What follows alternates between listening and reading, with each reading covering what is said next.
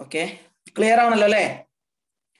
നമ്മൾ ഇന്നത്തെ വിഷയം നമ്മൾ ഇന്നത്തെ ഒരു വിഷയം എന്താണ്? ഞാൻ ഒരു ചോദ്യം ചോദിക്കാം. ഓക്കെ എല്ലാവരും ഒന്ന് ജസ്റ്റ് ഒന്ന് പിന്നെ പിന്നെ ആർ പി സി ഒന്ന് ജസ്റ്റ് ഒന്ന് എല്ലാവർക്കും ഒന്ന് മ്യൂട്ട് ഓൺ ആക്കി കൊടുത്താളി കേട്ടോ ഓക്കെ അപ്പൊ എന്റെ ഒരു ചോദ്യം.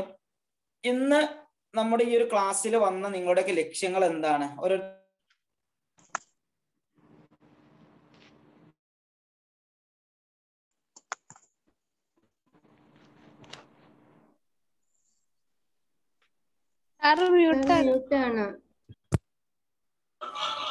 വിമർശനങ്ങളെ എങ്ങനെ നേരിടാമെന്ന് പഠിക്കാം?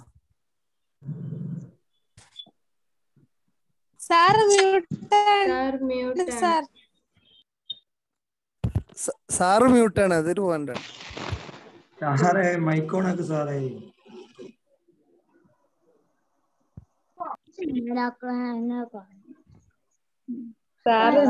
ഓക്കേ എന്റെ ചോദ്യം. എന്റെ ചോദ്യം ചോദിക്കട്ടെ? നിങ്ങളെല്ലാരും ഇന്നത്തെ ക്ലാസ്സിന് നിങ്ങളുടെ ലക്ഷ്യം എന്താണ്? എന്നുള്ളത് പഠിക്കാനാ. ഓരോരുത്തർ പറഞ്ഞോളി. ആ. വേഗം. വിമർശനങ്ങളെ നേരിട്ട് ജീവിതത്തിൽ മുന്നേറാം നമുക്ക് വരുന്ന വിമർശനങ്ങളൊക്കെ എങ്ങനെ നേരിടാം. ഇനി എല്ലാവരും അവരവരെ മൈക്കിൾ അവരവരെ ഓഫ് ആയിക്കോളി. അപ്പൊ ഞാൻ പറയുമ്പോ മാത്രം ഓണാക്കിയാൽ നമുക്ക് നല്ല രസത്തിൽ ഈ se- എന്ന് കഴിഞ്ഞാൽ നമുക്കൊക്കെ ഒരുപാട് വിമർശനങ്ങളുണ്ട് ഒരുപാട് കുത്തുവാക്കുകളുണ്ട്. ഞാൻ ഈ ഫോം ഫിൽ ചെയ്തപ്പോ ഞാൻ ഓരോരുത്തരോട് ചോദിച്ചിരുന്നു നിങ്ങൾക്ക് എന്തെങ്കിലും മറക്കാൻ പറ്റാത്ത അനുഭവങ്ങൾ ഉണ്ടോ എന്ന് ഞാൻ ചോദിച്ചിട്ടുണ്ട്. കുറെ ആൾക്കാർ ഒരുപാട് എല്ലാരും മ്യൂട്ടാക്കിയും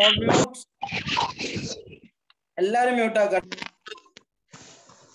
അപ്പൊ ഞാൻ ചോദിച്ചു നിങ്ങൾക്ക് ആർക്കെങ്കിലും എന്തെങ്കിലും അനുഭവങ്ങൾ ഉണ്ടോ അല്ലെങ്കിൽ നിങ്ങൾക്ക് എന്തെങ്കിലും സങ്കടങ്ങൾ ഉണ്ടോ എന്ന് ഞാൻ ചോദിച്ചപ്പോൾ ഒരുപാട് ആൾക്കാർ കുറെ സങ്കടങ്ങൾ പറഞ്ഞു.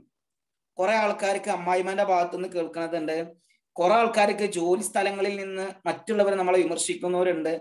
നമ്മൾ സത്യസന്ധമായിട്ട് നീങ്ങുമ്പോൾ ഒരുപാട് വിമർശനങ്ങൾ ഏറ്റുവാങ്ങുന്നവരുണ്ട്. ഇത് ആലോചിച്ച് സങ്കടപ്പെടുന്ന ഒരുപാട് ആൾക്കാരാണ് ഞാൻ അങ്ങനെ കമന്റ് വായിച്ചപ്പോൾ എനിക്ക് മനസ്സിലായത്. ഇതുപോലെ നമുക്കും ഉണ്ട് അല്ലെ ഒരുപാട് ആൾക്കാര് എന്തൊക്കെയോ പറഞ്ഞ വേദനകൾ ഇങ്ങനെ അനുഭവിക്കുന്ന ഒരുപാട് ആൾക്കാർ നമ്മുടെ കൂട്ടത്തിലുണ്ട്. സോണോ ശരിയാണ് അല്ലേ? ഞാൻ ഒരു കാര്യം പറയട്ടെ. വിമർശിക്കുന്നവരുണ്ടല്ലോ. നമുക്ക് വിമർശിക്കുന്നവരെ പറ്റി നമുക്ക് ആദ്യം പഠിക്കാം. വിമർശിക്കുന്നവർ എന്നൊക്കെ പറഞ്ഞു കഴിഞ്ഞാൽ നമ്മളെ ചു ചീവിടിനെ പോലെയാണ്. എന്താ ചീവിടിന്റെ പ്രത്യേകത എന്താ? ചീവിടിന്റെ ഒച്ച അവിടുന്ന് ഇവിടുന്നൊക്കെ ഇങ്ങനെ കേൾക്കാം. എന്നൊക്കെ പറഞ്ഞിട്ട് അല്ലേ? പക്ഷെ നമുക്ക് ചീവിടിനെ കാണാൻ പറ്റുമോ? ഇല്ല. കാണാൻ പറ്റൂലല്ലോ? ശരിയല്ലേ?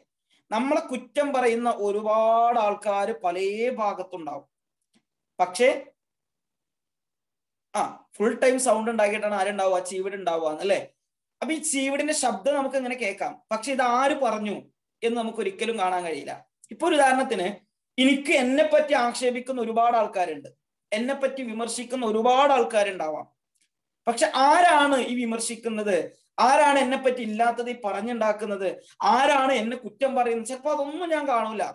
ചിലപ്പോ അവരെ ഞാൻ ഇങ്ങനെ ആ അവരെ ചിലപ്പോ ഇങ്ങനെ ഈ വിമർ ഈ സൗണ്ട് മാത്രം ഞാൻ ഇങ്ങനെ കേൾക്കും. പറച്ചോനെ ഇന്നെ പറ്റിയിട്ടാണല്ലോ ഞാൻ കേൾക്കുന്നത്. അല്ല ഇങ്ങനെ സങ്കടപ്പെടും. സോണോ നമുക്കൊക്കെ പല അനുഭവങ്ങളും ഇങ്ങനെ ഉണ്ടായിട്ടുണ്ടാവാം. ശരിയല്ലേ? ആണോ അല്ലേ? ആണ്. നമ്മൾ ജസ്റ്റ് ഒരു ചീവിടിന്റെ സ്വഭാവമാണ് ഈ വിമർശിക്കുന്ന ആൾക്കാർക്ക് ഉണ്ടാവുക. ഞാനൊരു കാര്യം പറയട്ടെ? ഒരു ചോദ്യമാണ് നിങ്ങളോട് ചോദിക്കുന്നത്. ലോകത്ത് അറിയപ്പെട്ട ആരെങ്കിലും ലോകത്ത് നല്ല നിലയ്ക്ക് അറിയപ്പെട്ട ആർക്കെങ്കിലും വിമർശനങ്ങൾ നേരിടാത്ത ഒരാളെ നിങ്ങൾക്ക് കാണിച്ചു തരാൻ പറ്റുമോ? നിങ്ങൾ നല്ലോണം ആലോചിച്ചോളി ഒരാളെ കാണിച്ചു കാണിച്ചെന്ന ഞാൻ ഇന്ന് എന്റെ ഇവിടുന്ന് രോമണ്ട് പറിച്ചിരുന്നത് ഒരാളെങ്കിലും ലോകത്ത് അറിയപ്പെട്ട ഒരാളാവണം. നിങ്ങൾ ആരെ വേണം ചിന്തിച്ചോ? ഞാൻ ചിന്തിച്ചിട്ടുണ്ടായിരുന്നു. പ്രവാചകൻ സല്ലല്ലാഹു അലൈഹി വസ്ലമ തങ്ങൾ എത്ര വിമർശനങ്ങൾ നേരിട്ടിട്ടുണ്ട്. ശ്രീനാരായണ ഗുരു വിമർശനങ്ങൾ നേരിട്ടിട്ടുണ്ട്. ലോകത്ത് അറിയപ്പെട്ട ആരൊക്കെ ഉണ്ടോ? നിങ്ങൾ എടുത്തു നോക്കിക്കോ. എത്ര ഏത് ജനങ്ങളുണ്ടോ അവർക്കൊക്കെ വിമർശനങ്ങൾ നേരിട്ടിട്ടുണ്ടാവും. ഡോക്ടർ അബ്ദുൽ കലാം ആസാദിന്റെ ഒരു വീഡിയോ ഉണ്ട് യൂട്യൂബിൽ. ആ വീഡിയോ കണ്ടത് ഏകദേശം ഇരുപത്തി ഒന്ന് മില്യൺ ആൾക്കാരാണ്. ജനിച്ചവരൊക്കെ വിമർശിക്കപ്പെട്ടിട്ടൊന്നും ഉണ്ടാവില്ല. കാരണം എന്താ വെച്ച് കഴിഞ്ഞാൽ പിന്നെ ഒന്നിനും ഒരു പ്രവർത്തനം ചെയ്യാതെ വിമർശിക്കപ്പെടാതിരിക്കുന്ന ഒരു ഐഡിയ ഉണ്ട്. എന്താ വെച്ച് കഴിഞ്ഞാൽ ഒന്നും ഉണ്ടാകാതെ ഒരു ഭാഗത്ത് ഇങ്ങനെ സുഖമായിട്ട് കിടന്നുറങ്ങാം. അപ്പൊ ഒരു വിമർശനം ഉണ്ടാവില്ല? ശരിയല്ലേ? ഒരു ഭാഗത്ത് സുഖമായിട്ട് ഇങ്ങനെ കടന്നുറങ്ങി ആരെങ്കിലും നമ്മളെ വിമർശിക്കോ? ഷേക്സ്പിയറിനെ വിമർശിച്ചിട്ടില്ലാന്നോ. ഷേക്സ്പിയറിന് എത്ര വിമർശനങ്ങളുണ്ട്? അതേപോലെ തന്നെ ഡോക്ടർ അബ്ദുൽ കലാം ആസാദിനെ ഞാൻ വീഡിയോ കണ്ടു. ഇരുപത്തൊന്ന് മില്യൺ ആൾക്കാർ അത് കണ്ടിട്ടുണ്ട്. ഏകദേശം രണ്ട് കോടി ജനങ്ങൾ ഇരുപത്തൊന്ന് മില്യൺ എന്ന് പറഞ്ഞാൽ യൂട്യൂബിൽ ആ വീഡിയോ എത്ര ആൾക്കാർ കണ്ടിട്ടുണ്ടാവും? രണ്ട് കോടി ആൾക്കാർ കണ്ടിട്ടുണ്ട്. ആ രണ്ട് കോടി ആൾക്കാർ കണ്ട വീഡിയോക്കും പതിനായിരം ഡിസ്ലൈക്ക് ഉണ്ട്. എത്ര ഡിസ്ലൈക്ക് ഉണ്ട്? പതിനായിരം ഡിസ്ലൈക്ക് ആർക്കുണ്ട്? അത്രക്കും അബ്ദുൽ കലാം ആസദിന്റെ എന്ത് സുന്ദരമായ പ്രസംഗം എന്നറിയോ ഞാനിങ്ങനെ ഇടക്കിടക്ക് ചിന്തിക്കലുണ്ട്. മുമ്പുറത്ത് വിജയങ്ങളെ ഇതിനിപ്പോ എന്തുകൊണ്ടപ്പൊ ഡിസ്ലൈക്ക് അടിച്ചിട്ടുണ്ടാവുക? മനസ്സിലായില്ലേ? എന്താണ് കാരണം? പല ചിന്താഗതിയിലുള്ള ആൾക്കാരുമാണ് നമ്മുടെ സമൂഹത്തിൽ ജീവിക്കുന്നത്. ഒരാളും എന്നെ എതിർക്കരുത്. ഒരാളും എന്നെ കുറ്റം പറയാൻ പാടില്ല. ഒരാളും എന്നെ കുറ്റങ്ങളൊന്നും കണ്ടെത്താൻ പാടില്ല. അങ്ങനെ എനിക്ക് ഇങ്ങനെ ജീവിക്കണം എന്നാണ് ആഗ്രഹം ഉണ്ടെങ്കിൽ അതൊരിക്കലും നടക്കൂല. ആദ്യം നമ്മൾ അത് മനസ്സിലാക്കുക. നമ്മളെല്ലാരും കുറ്റം പറയും. നമ്മളെല്ലാരും വിമർശിക്കും. നമ്മളെ പല ആൾക്കാരും പല കുത്തുവാക്കുകളും പറയും. അത് ആരെ പ്രശ്നമല്ല നമ്മളെ പ്രശ്നമല്ല അബ്ദുൽ കലാം ആസാദിന്റെ ആ പ്രസംഗത്തിന്റെ പ്രശ്നമാണോ അല്ല. നിബിതങ്ങൾ ജീവിച്ച ജീവിതചര്യയുടെ പ്രശ്നമാണോ അല്ല. നിബിതങ്ങളൊക്കെ നിബിതങ്ങളാവട്ടെ. എത്രയെത്ര ജനങ്ങളുണ്ട്. നല്ല നിലയ്ക്ക് ജീവിച്ചു പോയിട്ട് അവർക്കും വിമർശനങ്ങളില്ലേ? അത് നിബിതങ്ങളെ കുറ്റമായിരുന്നു. നിബിതങ്ങൾക്ക് കുറെ പിന്നെ ചീത്തപ്പേരും കുറെ കുറ്റങ്ങളൊക്കെ കേട്ട നിബിതങ്ങളെ പ്രശ്നമായിരുന്നു. അല്ല. ആരെ പ്രശ്നമാണ്? സമൂഹത്തിന്റെ പ്രശ്നമാണ്. സോണോ ശരിയല്ലേ? അപ്പൊ നമ്മൾ ഇങ്ങനെ ചിന്തിക്കുക. അള്ളാഹുവെ ലോകത്ത് അറിയപ്പെട്ട എല്ലാവർക്കും കുറ്റങ്ങൾ കേൾക്കപ്പെടേണ്ടി വന്നിട്ടുണ്ട്. മനസ്സിലായില്ലേ? എല്ലാവർക്കും പിന്നെ ചീത്തകൾ കേട്ടിട്ടുണ്ട്.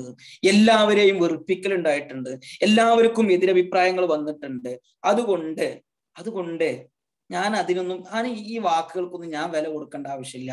അത് എന്റെ പ്രശ്നമല്ല. ആ ഞാൻ എത്ര സുഖസുന്ദരമായി ജീവിക്കാൻ ശ്രമിച്ചാലും എനിക്ക് വിമർശനങ്ങൾ ഉണ്ടാകും ആദ്യം അത് ഇല്ലാത്തൊരു ജീവിതം ഉണ്ടാകൂല എന്നുള്ളത് ആദ്യം ഉറപ്പിക്കാം. ഉറപ്പിച്ചോ? ഉറപ്പിച്ചോ?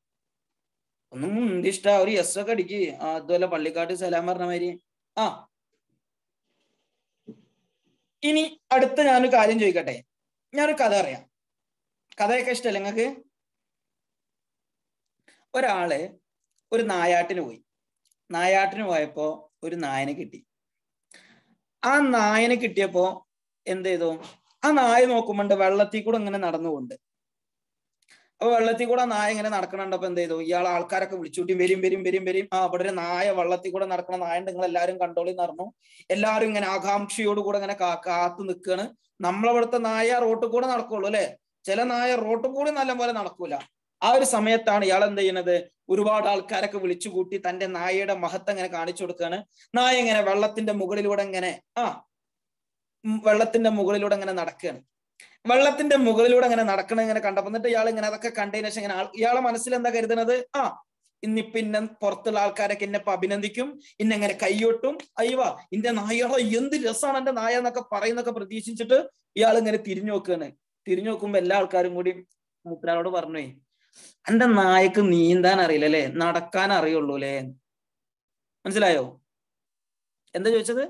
ആ നമ്മൾ ഇതേപോലെയാണ് നമ്മൾ ഒരുപാട് പ്രവർത്തനങ്ങളൊക്കെ ചെയ്തിട്ട് നമ്മൾ എന്തൊക്കെയോ പ്രതീക്ഷിക്കുകയാണ്. അത് നമ്മൾ പ്രവർത്തനം ചെയ്തുകൊണ്ട് ചെയ്യാത്തത് നമ്മൾ പ്രവർത്തനം ചെയ്ത് അവർ മനസ്സിലാക്കാത്തത് കൊണ്ടൊന്നുമല്ല. നമ്മൾ പ്രവർത്തനം മോശമായതുകൊണ്ടല്ല ചിലപ്പോൾ നമ്മൾ വീട്ടിൽ നല്ലപോലെ നമ്മുടെ ഭർത്താവിന് വേണ്ടി ഉള്ള പണികളും ഒക്കെ ചെയ്തു കൊടുത്തിട്ടുണ്ടാവും. അപ്പോഴും ഭർത്താവ് അതിനെ ഒരു കുറ്റേ കാണുള്ളൂ എന്ന് അത് നമ്മളെ പ്രശ്നമല്ല. നമ്മൾ ചെയ്ത പ്രവൃത്തിയുടെ പ്രശ്നമല്ല. ചിലവർ പറയും അമ്മായിമ്മ എത്ര നല്ലപോലെ ജീവിച്ചാലും എന്റെ അമ്മായിമ്മ എന്റെ കുറ്റേ കാണുള്ളൂ എന്ന് അത് നമ്മുടെ പ്രശ്നമല്ല. നമ്മൾ ചെയ്യുന്നത് നല്ല പോലെയാണ്. അത് പറയപ്പെടുന്നവരുടെ പ്രശ്നമാണ്. സോണോ ശരിയല്ലേ? ഈ നായ നല്ലപോലെ വെള്ളത്തിൽ നടന്നിട്ടും എന്താണ് ആൾക്കാർ പറഞ്ഞത്? ഇയാൾ പ്രതീക്ഷിക്കണം എന്താ? ഇന്ന ആൾക്കാർ നല്ല മഹത്വവൽക്കരിക്കും. അവിടുന്ന് ഇയാൾക്ക് കേട്ടത് എന്താ എന്റെ നായ നീന്തൂലല്ലേ? എന്ന്. ശരിയല്ലേ? ഇതേ അനുഭവത്തിലാണ് നമ്മളുടെ പലരുടെയും ജീവിതം. സോണോ ശരിയല്ലേ? ആണോ അല്ലേ? ഇനി ഞാനൊരു കാര്യം പറയട്ടെ. നിങ്ങൾ എല്ലാവരും ഓർത്തു വെച്ചോ. വിമർശനങ്ങൾ ഏറ്റ് സങ്കടപ്പെടുന്നവരാണ് എന്റെ മുന്നിലുള്ളതെങ്കിൽ. അല്ലെങ്കിൽ കുത്തുവാക്കുകൾ കേട്ട് മനസ്സ് സങ്കടപ്പെടുന്നവരാണ് നിങ്ങളെങ്കിൽ. നിങ്ങളോട് ഞാനൊരു കാര്യം പറയാം. നമ്മൾ ആരെങ്കിലും വിമർശിക്കുന്നുണ്ടെങ്കിൽ നമ്മൾ ആരെങ്കിലും കുറ്റം പറയുന്നുണ്ടെങ്കിൽ അതിലൊരൊറ്റ കാര്യമുള്ളൂ. എന്താണെന്നറിയോ? എനിക്ക് അത് നമ്മളോട് എന്തോ ഒരു അസൂയ ഉള്ളത് കൊണ്ടാണ് ആ ജസീന പറഞ്ഞു ഇന്നും കേട്ടു അല്ലേ ഓക്കെ ഞാനൊരു കാര്യം പറയാം.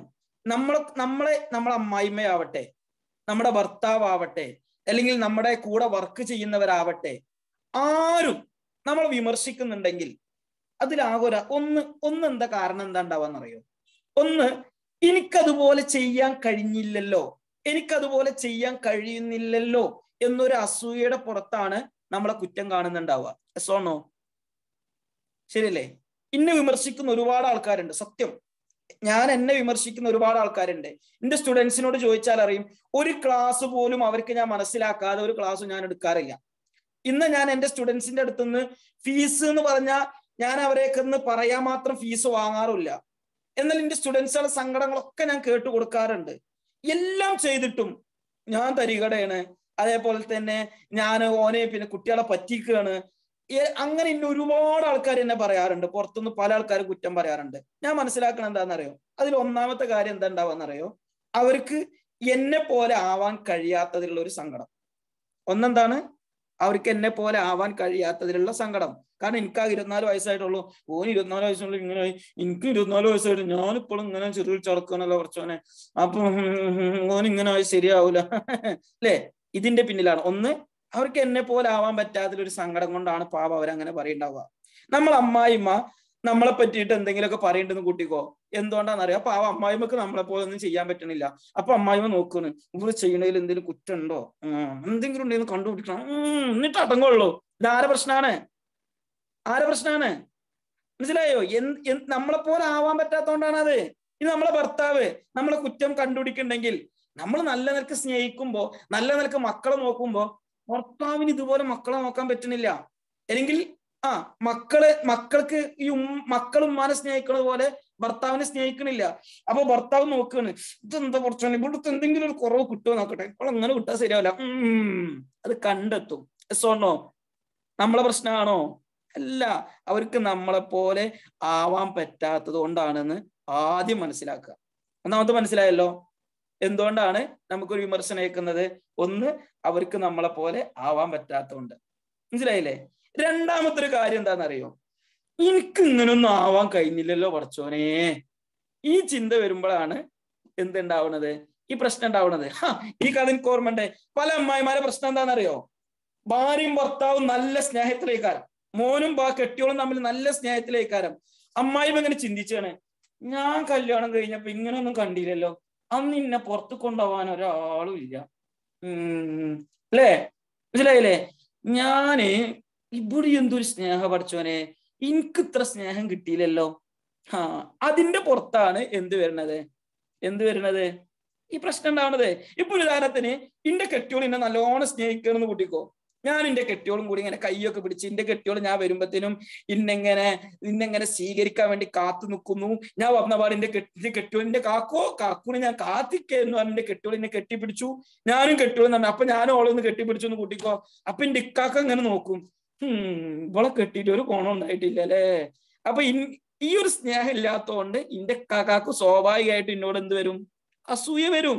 എസോണോ അപ്പൊ നമ്മൾ ഒരാൾ അസൂയപ്പെടുന്നുണ്ടെങ്കിൽ നമ്മൾ വിമർശിക്കുന്നതിന് നമ്മൾ സന്തോഷിക്കുക എന്താണ്? മറ്റുള്ളവർ അസൂയപ്പെടുന്ന എന്തോ എനിക്കുണ്ട്. അലഹമില്ല എന്റെ കാക്ക എന്നെ ഇന്ന അസൂയപ്പെടുന്നുണ്ടെങ്കിൽ അതിനർത്ഥം എന്താണ്? ആ ഇന്റെ കെട്ടിയോട് നല്ല ഉഷാറാണ്. അപ്പൊ ഇന്റെ കാക്കാക്ക് അതുപോലെ കിട്ടാത്തോണ്ടാണ്. അസൂയ. അതുകൊണ്ട് പിന്നെ കുഴപ്പമില്ല അല്ലെ? അങ്ങനെ ചിന്തിച്ചാ മതി. മനസ്സിലായില്ലേ? നമ്മൾ അങ്ങനെ ചിന്തിക്കുക നമ്മളടുത്ത് എന്തോ എക്സ്ട്രാ ഉള്ളതുകൊണ്ടാണ് അവർ അസൂയപ്പെടുന്നത്. അപ്പൊ എന്ത് ചെയ്യാ? അയ്യവ എനിക്ക് നല്ലൊരു ഹസ്ബൻഡിനെ കിട്ടിയിട്ടുണ്ടെന്ന് തെളിഞ്ഞു. അല്ലെങ്കിൽ അതേപോലെ തന്നെ ഇപ്പൊ ഒരു ഉദാഹരണത്തിൽ ഞാൻ എന്തുണ്ട് ഒരുപാട് സ്ഥാപനങ്ങളൊക്കെ കയറ്റി. എനിക്ക് ഒരുപാട് സ്ഥാപനങ്ങളായി ഒരുപാട് സ്റ്റുഡൻസ് ആയി. ഇതേമാതിരി കുറെ കാലം കഷ്ടപ്പെട്ട ഒരു ട്രെയിനർ എന്റെ അടുത്ത് വന്നു കണ്ട് ഇങ്ങനെ എന്നെ പറ്റിയിട്ട് ഓടാർന്ന് ഏ ഓ നേരെ വലിയ ട്രെയിനർ ആത്ത? എന്ന് പറയണ്ടേ ഞാനെന്താ മനസ്സിലാക്കേണ്ടി അറിയോ അയ്യവ ഞാൻ ഉഷാറായിക്കണം കാരണം എന്താണെന്നറിയോ ഇന്ന് കുറ്റം പറയണ്ടില്ലേ? അതിന്റെ അർത്ഥം എന്താ? ഓൻക്ക് ഇന്ന പോലെ ആവാൻ പറ്റാത്ത അസൂയുണ്ട് അതുകൊണ്ടാണ് ഓ മോഹൻ വിളിക്കുന്നത് അലഹമില്ലാതെ ചെല്ല മനസ്സിലായില്ലേ? ഒരു ഉദാഹരണത്തിന് ഒരു- നിലയ്ക്ക് കൂട്ടാം. ഇന്നിന്റെ കെട്ടിയോൾ തെറി വിളിക്കണെന്ന് കൂട്ടിക്കോ. അപ്പൊ എന്റെ കാക്കാക്ക് എന്നോട് എന്താ ഉണ്ടാവുക സഹതാപം ഉണ്ടാവുക പാവല്ലേ ഓന്റെ കഷ്ടക്കാരെ ആലോചിച്ച് നോക്ക്. അപ്പൊ അസൂയ ഉണ്ടാവൂല ശരിയല്ലേ? എനിക്ക് നല്ല ക്ലാസ് എടുക്കാൻ കഴിവുണ്ട്. എനിക്കൊരു കുട്ടികളും വരുന്നില്ല. അപ്പൊ മറ്റുള്ള ട്രെയിനർമാർക്ക് എന്താ ഉണ്ടാവുക ശേ എന്തായാലും ഓനക്ക് എന്തൊരു ക്ലാസ്സാ ഓനക്ക് കുട്ടികളെ കിട്ടണില്ലല്ലോ. സഹതാപം ഉണ്ടാവുള്ളൂ ശരിയല്ലേ? നേരെ മറിച്ച് എന്നോട് അസൂയയാണ്. എന്നോട് വെറുപ്പാണെന്നുണ്ടെങ്കിൽ അതിന്റെ അർത്ഥം എന്താണ്? ആ എനിക്കെന്തോ എക്സ്ട്രാ ഒരു കഴിവുണ്ട്. അല്ലെങ്കിൽ എനിക്കെന്തോ എക്സ്ട്രാ എന്തോ ഒരു നേട്ടം എനിക്കുണ്ട് കിട്ടിയിട്ടുണ്ട്. അൽഹംദുലില്ല എന്ന് ചെല്ല മനസ്സിലായില്ലേ? ഓക്കെ അതന്നെ നമുക്ക് എന്തെങ്കിലും കൂടുതൽ ഉണ്ട് എന്ന് ആർക്കോ തോന്നുന്നുവോ അവരാണ് നമ്മളെ വിമർശിക്കുന്നത്. മനസ്സിലായില്ലേ? അപ്പൊ നമ്മൾ എന്ത് ചെയ്യാ നമ്മൾ അവരെ മനസ്സിലാക്കുക. അവരെ പ്രശ്നങ്ങൾ നമ്മൾ മനസ്സിലാക്കി കഴിഞ്ഞു കഴിഞ്ഞാൽ ആ നമുക്ക് എന്ത് കിട്ടും? ഈ ഒരു വിമർശനങ്ങൾ. അയ്യോ എനിക്ക് എന്തൊക്കെയോ നേട്ടമുണ്ട് വിമർശിക്കുന്നുണ്ടോ? അതിനർത്ഥം നമുക്ക് എന്തെയോ എന്തൊക്കെയോ നല്ല കഴിവുകളുണ്ട്. ആ കഴിവുകൾ മുന്നോട്ട് പോവുക. ഭർത്താവിനെ വീണ്ടും വീണ്ടും സ്നേഹിക്കുക. അതേപോലെ തന്നെ നമ്മൾ ജോലിയിലാണ് വിമർശനങ്ങൾ ഉണ്ടെങ്കിൽ ആ ജോലിയിൽ വിമർശനങ്ങൾ കേട്ട് തളരാതെ ആ ആ ജോലി വീണ്ടും ഡെവലപ്പ് ചെയ്യാൻ നോക്കുക. മനസ്സിലായില്ലേ? അതേപോലെ തന്നെ നമുക്ക് എന്തിനാണോ നമുക്ക് വിമർശനം ഉണ്ടാവുന്നത്? വിമർശനങ്ങൾ കേട്ട് പുറത്തുള്ള വാക്കുകൾ കേട്ട് നമ്മളെ കുറ്റം പറയുന്നത് കേട്ട് ഇന്ന് മുതൽ നമ്മൾ തളരാൻ പാടില്ല. മനസ്സിലായില്ലേ? നമുക്ക് എന്തൊക്കെയോ നേട്ടങ്ങളുണ്ട്. ആ നേട്ടം ഇനിയും ഞാൻ വളർത്തിക്കൊണ്ടേയിരിക്കും എന്നാവണം നമ്മളൊക്കെ ചിന്തിക്കേണ്ടത്. ഇൻഷാല്ല ഈ വിമർശനങ്ങൾ കേട്ട് നീ തളരുവോ? തളരുവോ? എത്ര കുറെ കേൾക്കും തോറും നമ്മൾ തളരല്ലേ വേണ്ടത്? കുറെ പറഞ്ഞോട്ടെ. അതിനൊരു വില കൊടുക്കണ്ട. നമ്മൾ അവരെ മനസ്സിലാക്കുക. അവർക്ക് എന്തോ നമ്മളോട് അസൂയാണ് മനസ്സിലായില്ലേ? അവരിങ്ങനെ പറഞ്ഞോട്ടെ. ഈ ചീവിടിന്റെ ശബ്ദം കേട്ടിട്ട് ഇത് എവിടെ പഠിച്ചോനെ നോയിച്ച് നടക്കേണ്ട ആവശ്യമൊന്നുമില്ലല്ലോ. എങ്ങനെയാണ് വിമർശനങ്ങളെ നേരിടേണ്ടതെന്നും കൂടി ഞാൻ പറഞ്ഞുതരാം. അപ്പൊ ശരിയാവും ഇൻഷാല്ല പിന്നെ ചില ആൾക്കാർ എങ്ങനെയാണെന്നറിയോ? പിന്നെ എപ്പോഴാണ് ഒരു പ്രശ്നം ഉണ്ടാവുക? ഇപ്പൊ ഒരു ഉദാഹരണത്തിന് എല്ലാ വിമർശനവും ഇങ്ങനെ അല്ലല്ലോ. വെറൈറ്റികൾ നമുക്ക് അവസാനം ചർച്ച ചെയ്യാം. ഓക്കെ? ഇൻഷാല്ല ഇനി ഇനി നമുക്കൊരു കാര്യം ചെയ്യാം. പിന്നെ ചില ആൾക്കാരെ എങ്ങനെ വിമർശിക്കാന്നറിയോ? ഇപ്പൊ ഒരു ഉദാഹരണത്തിന് അവരോട് വെറുപ്പ് വരണമെന്ന് അവരെന്തിനാ വെറുക്കണേ? പാവം. അവർക്ക് അവർ പിന്നെ നമ്മ അവർക്ക് നമ്മളെ പോലെ ലൈഫ് കിട്ടാത്തതുകൊണ്ട് അസൂയന്റെ പുറത്ത് ചെയ്യണതല്ലേ എന്ന് മനസ്സിലാക്കി അവർക്ക് പൊരുത്തപ്പെട്ട് കൊടുക്കുക. ഞാൻ ഒരു കാര്യം പറയട്ടെ? ഞാൻ എങ്ങാനും ഒരാളോട് വെറുപ്പ് വെച്ച് ഞാൻ നടക്കും തോറും എന്റെ മനസ്സ് അസ്വസ്ഥമാവുള്ളൂ. എല്ലാവർക്കും പൊരുത്തപ്പെട്ട് കൊടുക്കുക. ഇൻഷാല്ല നമുക്ക് അടുത്ത ക്ലാസ് ഫോർ ഗിവിനെസ് ആക്കാം. എന്തെങ്കിലും അഭിപ്രായം? ഓക്കെ അടുത്ത ക്ലാസ് നമുക്ക് ഫോർ ഗിവിനെസ് ആക്കാം ഇൻഷാല്ല ഇനി ഇനി ആർക്കാണ് നമ്മളോട് വെറുപ്പുണ്ടാവാന്നറിയോ? അടുത്തൊരു കൂട്ടരെ ഞാൻ പറയട്ടെ. നമ്മൾക്ക് ഞാനൊരു സംഭവം തുടങ്ങി. ഒരു സംഭവം തുടങ്ങിയിട്ട് ഞാൻ അതിൽ പരാജയപ്പെട്ടു. ഇപ്പൊ ഉദാഹരണത്തിന് ഞാൻ സ്ഥാപനം തുടങ്ങിയില്ലേ? ഞാൻ ഇരുപത്തൊന്ന് വയസ്സിൽ ആദ്യമായിട്ട് ഒരു സ്ഥാപനം ഇട്ടു. മഞ്ചേരി ജി കെ എന്ന് സ്ഥാപനം ഇട്ടു. ആ സ്ഥാപനം ഇട്ടു. എട്ട് നിലയ്ക്ക് പൊളിഞ്ഞു. എനിക്കും കുറെ അനുഭവങ്ങളുണ്ട്. അതിനൊരുപാട് പണം മുടക്കി ഞാൻ പൊളിഞ്ഞു. അതേപോലെ തന്നെ എനിക്ക് ഒരുപാട് എന്റെ ടീച്ചിങ് മേഖലക്ക് ഞാൻ വന്നപ്പോ എനിക്കറിയാണ്ട് ഒരുപാട് പാകപ്പിഴവുകൾ എനിക്ക് വന്നിട്ടുണ്ട്. അതിലൊക്കെ ഞാൻ പരാജയപ്പെട്ടിട്ടുണ്ട്. ഞാൻ ഈ പരാജയപ്പെട്ടിട്ട് അതിൽ നിന്നൊരു പാഠം പഠിച്ച് വീണ്ടും ഞാൻ ഉയർന്നതാണ്. മനസ്സിലാവണ്ടോ കഷ്ടപ്പെട്ട് ഉയർന്നതാണ്. ചില ആൾക്കാര് ഒരു വട്ടം തകരുമ്പത്തിനും ഇനി എനിക്കൊന്നും വയ്യ. തകർന്നിരിക്കും. അവർ നമ്മളെ ഉയർച്ച കാണുമ്പോ ഓ കണ്ടില്ലേ? പരാജയപ്പെട്ടിട്ടും ഓ പിന്നെ ഉഷാറായതോക്ക്. അപ്പൊ ഒരു അസൂയ ഉണ്ടാവും. സ്വർണോ ശരിയല്ലേ? ഇതേപോലെ കുടുംബജീവിതത്തിൽ എടുക്കുക ഒരു വട്ടം ഭാര്യയും ഭർത്താവും തമ്മിൽ തല്ലുണ്ടായി. നമ്മൾ പിന്നെയും നന്നായി. ഇപ്പുറത്തെ ഒരു ഫാമിലി തല്ലുണ്ടായിട്ട് അതോടുകൂടെ തൊലാക്കിന്റെ പക്കത്തേക്ക് എത്തി. അപ്പൊ പറയും ഓ അപ്പൊ ഒരു അസൂയ വരും. ഒരു നല്ല തല്ലൂട്ടേന്നു ഓരോ ഫാമിലി ഒക്കെ നന്നായി. എന്റെ ഫാമിലി ഇപ്പോഴും നോക്ക് ഇതേപോലെ തന്നെ അപ്പോഴും എന്തുണ്ടാവും? എന്തുണ്ടാവും? സ്വാഭാവികമാണ് ഒരു അസൂയ ഉണ്ടാവും. ശരിയല്ലേ? ഇവിടെ നമ്മൾ പോസിറ്റീവ് ആയതുകൊണ്ടാണ് ഇവർക്ക് ഒരു അസൂയ വന്നത്. സോണോ മോൻ ഉമ്മയെക്കാളും ഭാര്യയെ സ്നേഹിച്ചു പോകുമോ എന്നൊരു ഭയം കൂടിയല്ലേ അമ്മായി അമ്മായിമാരും? ആ ശരിയാണ്. എന്തുകൊണ്ടാണ് അവിടെയും സ്നേഹം കൂടുതൽ കിട്ടുന്നുണ്ടോ എന്ന് തോന്നുന്നത് കൊണ്ടല്ലേ? അല്ലേ? മോൻക്ക് അമ്മായിമ്മയെ എന്നേക്കാൾ കൂടുതൽ എന്റെ ഭാര്യയെ മകൻ സ്നേഹിക്കുന്നുണ്ടോ എന്ന് തോന്നുന്നത് കൊണ്ടല്ലേ? അതിനർത്ഥം അർത്ഥം നമുക്ക് എന്തൊക്കെയോ ആ സ്നേഹം കിട്ടുന്നുണ്ട്. ആ പാവം നമ്മളോട് വെറുപ്പ് പിടിക്കണത് എന്തുകൊണ്ടാണ്? എന്നെ മോനെ എന്റെ അമ്മായി മോനെ എന്നെക്കാൾ കൂടുതൽ സ്നേഹിക്കുന്നുണ്ടോ എന്ന് തോന്നുന്നത് കൊണ്ടാണ്. അങ്ങനെ മനസ്സിലാക്കി ആ ഉമ്മാന്റെ മുന്നിൽ നിന്ന് നമ്മൾ എന്ത് ചെയ്യാ സ്നേഹപ്രകടനങ്ങളൊക്കെ ഒന്ന് കുറക്കുക. മനസ്സിലായില്ലേ? നമ്മൾ അവരെ വെറുക്കരുത്. ആ ഉമ്മാന്റെ മാനസികാവസ്ഥ മനസ്സിലാക്കി ഉമ്മാന്റെ മുന്നിൽ നിന്ന് സ്നേഹപ്രകടനങ്ങളൊക്കെ കുറക്കുക. എന്നിട്ടോ പേഴ്സണൽ ആയിട്ട് വരുമ്പോൾ നല്ലോണം സ്നേഹിക്കുക. ഇതെന്താ ചെയ്യാ? നമ്മൾ ഉമ്മാന്റെ മുന്നിൽ നിന്ന് ചിലപ്പോൾ വാശിക്ക് ഒന്നും കൂടി സ്നേഹിക്കും. അപ്പൊ ഉമ്മാക്ക് നമ്മളോട് വെറുപ്പ് കൂടും. ശരിയല്ലേ? അവരെ മുന്നിൽ നിന്ന് നമ്മൾ സ്നേഹിക്കണ്ട. എല്ലാത്ത എത്ര സ്ഥലങ്ങളുണ്ട് നമുക്ക് സ്നേഹിക്കാന് ശരിയല്ലേ? അവിടെ പോയിട്ട് സ്നേഹിക്കണം. പക്ഷെ ഉമ്മ ഇങ്ങനെ പറയുന്നു എന്ന് കൂട്ടി നമ്മൾ ഉമ്മാനെ വെറുക്കാൻ പാടില്ല. ഉമ്മ അങ്ങനെ പറയണത് എന്തുകൊണ്ടാണ്? ഉമ്മാക്ക് കിട്ടാത്ത സ്നേഹം നമുക്ക് കിട്ടണത് കൊണ്ടാണ് ഉമ്മ ഇങ്ങനെ പറയണത് എന്നുള്ളത് നമ്മൾ മനസ്സിലാക്കുക. ഇൻഷാല്ല മോൻക്ക് വയ്യ ക്ലാസ് റെക്കോർഡ് ഉണ്ടാവും ഇൻഷാല്ല കേട്ടോ റെക്കോർഡ് ഉണ്ടാവും. ഏറ്റവും കൂടുതൽ ഇതിൽ തന്നെ ഇരിക്കുന്നതാണ് അപ്പൊ നിങ്ങൾ ഒരുപാട് സംശയങ്ങൾക്ക് ഉത്തരം കിട്ടും. റെക്കോർഡ് നമുക്ക് എപ്പോഴും നമുക്ക് കേൾക്കാൻ പറ്റിക്കോളണം എന്നില്ല. ശരിയല്ലേ? ഇനി ഇനി ഞാൻ വേറൊരു കാര്യം പറയട്ടെ. എങ്ങനെയാണ് വിമർശനങ്ങൾ നേരിടേണ്ടതെന്ന് അവസാനം പറയാം വിശാല ആദ്യം എന്തുകൊണ്ടാണ് വിമർശനങ്ങൾ വരുന്നത് എന്ന് നമുക്കൊന്ന് പറയാം. ഇനി രണ്ടാമത്തെ ഒന്ന് എന്താ വെച്ച് ആ നമ്മളെ ഒറ്റപ്പെടുത്തുന്നതായി തോന്നുന്നത് എന്തുകൊണ്ട്? ഒക്കെ തന്നെ ഞാൻ ഉത്തരം പറയാം വിശാല ആദ്യം ഞാൻ എന്റെ ക്ലാസ് ഒന്ന് മുഴുവനാക്കട്ടെ കേട്ടോ. അപ്പൊ എന്താണ്? പിന്നെ രണ്ടാമത്തെ ഒരു വിമർ അടുത്തൊരു വിമർശനം ആർക്കുണ്ടാവാന്നറിയോ എന്റെ കൂട്ടുകാർക്ക് എന്നോട് ഭയങ്കര വിമർശനം ഉണ്ടാവും. എപ്പോഴാണെന്നറിയോ അവർക്ക് നേടാൻ കഴിയാത്തത് എനിക്ക് നേടുമ്പോൾ ഇപ്പൊ നിങ്ങൾ നല്ലൊരു ടീച്ചർ ആയിരുന്നു കൂട്ടിക്കോ. നിങ്ങൾ നല്ലൊരു ഡോക്ടർ ആയിരുന്നു കൂട്ടിക്കോ. നിങ്ങൾ നല്ലൊരു ട്രെയിനർ ആയിരുന്നു കൂട്ടിക്കോ. നിങ്ങളിപ്പോ കൗൺസിലിംഗ് സൈക്കോളജി കഴിഞ്ഞ് വലിയ ബിരുദമൊക്കെ എടുത്തുനിന്ന് കൂട്ടിക്കോ. ആ നല്ല ബിരുദമൊക്കെ എടുത്തുനിന്ന് കൂട്ടിക്കോ. അപ്പോ പൊതുവെ നമ്മളെ കൂടെ ഉള്ളവർക്ക് നമ്മളെ പോലെ ആവാൻ കഴിഞ്ഞില്ലല്ലോ എന്നുള്ളതിൽ നിന്നും ഒരസൂയയും വിമർശനങ്ങളൊക്കെ വരാം. സോണോ വരൂലേ? എന്തുകൊണ്ടാണ് നമ്മളെ പോലെ ആവാൻ കഴിഞ്ഞില്ലല്ലോ എന്ന് ചിന്തിക്കുമ്പോൾ ഒരു ഉദാഹരണത്തിന് ഞാൻ പറയാം. എന്റെ കൂട്ടുകാരനക്ക് ഒരു അഞ്ചു കോടി രൂപ അടിച്ചു എന്ന് വിചാരിച്ചോ? എന്റെ കൂട്ടുകാരനക്ക് അഞ്ചു കോടി രൂപ അടിച്ചു എന്ന് വിചാരിച്ചോ? എന്തുണ്ടാവുക? എനിക്കൊരു അസൂയ സ്വാഭാവികമായിട്ടും വരും. ഊൻക്ക് അഞ്ചു കോടി അടിക്കേ. നമ്മളെ മനസ്സിന് പ്രശ്നം ഉണ്ടാവോ സോണോ ശരിയല്ലേ? നേരെ മറിച്ച് ഏതോ ഒരു ഉഗാണ്ടേ നിൽക്കുന്ന ഒരുത്തനക്ക് അഞ്ചു കോടി അടിച്ചു. ഇതിനുള്ള ഉത്തരാണ് പറയണത്. ഭർത്താവ് വിമർശിക്കുന്നത് എന്തുകൊണ്ട്? അതെനിക്ക് സഹിക്കണില്ല എന്ന് അത് ഞാൻ പറയണത്. നമ്മളോട് ഏറ്റവും കൂടുതൽ അടുത്തോരെ നമ്മളെ വിമർശിക്കുള്ളൂ? ഞാൻ പറയട്ടെ. ഞാനതാ പറഞ്ഞത്. എന്റെ കൂട്ടുകാരൻക്ക് അഞ്ചു കോടി അടിച്ചാ എന്റെ മനസ്സിന് ഒരു സ്വാഭാവികമായിട്ടും ഒരു പ്രയാസം ഉണ്ടാവും. എസ്വണ്ണോ ശരിയല്ലേ? ഏതോ ഉഗാണ്ടേ കിടക്കുന്ന അയമോക്കാക്ക് ഒരു അഞ്ഞൂറ് കോടി അടിച്ചതിന് എനിക്ക് പ്രശ്നം ഉണ്ടാവോ? ഇല്ലല്ലോ. നമ്മളോട് അടുത്തോരിക്കെ നമ്മളോട് ഏറ്റവും കൂടുതൽ വിമർശനങ്ങളും നമ്മളോട് അതേപോലെ തന്നെ വിമർശനങ്ങളും ദേഷ്യങ്ങളൊക്കെ ഉണ്ടാവുള്ളൂ. നമ്മളെ വിമർശിക്ക നമ്മളെ ഉമ്മന്നെയാണ് വിമർശിക്കുള്ളൂ. ഇന്നെ വിമർശിക്ക ഇന്റെ കാക്കയെ ചിലപ്പോ എന്നെ വിമർശിക്കുള്ളൂ. അല്ലെങ്കിൽ എന്നോട് ഏറ്റവും അടുത്തവരെ എന്നെ വിമർശിക്കൂ. ചിലപ്പോ എന്റെ ഭാര്യയുടെ ഉമ്മ ഭാര്യയുടെ ഉപ്പ നമ്മൾ ഒരിക്കലും ഇങ്ങനെ സങ്കടപ്പെടരുത്. എന്റെ ഉമ്മ എന്നെ വിമർശിച്ചല്ലോ. എന്റെ അമ്മായിമ്മ എന്നെ കുറ്റം പറഞ്ഞല്ലോ. നമ്മളെ കുറ്റം പറയാൻ അമ്മായിമേ ഉണ്ടാവുള്ളൂ. അല്ലാതെ അപ്പുറത്ത് കൂട്ടത്ത് താത്തൊന്നും നമ്മളെ കുറ്റം പറയില്ല. നമ്മളെ കുറ്റം പറയാ ആരാണ്? നമ്മളോട് ഏറ്റവും കൂടുതൽ അടുത്തവരാണ്.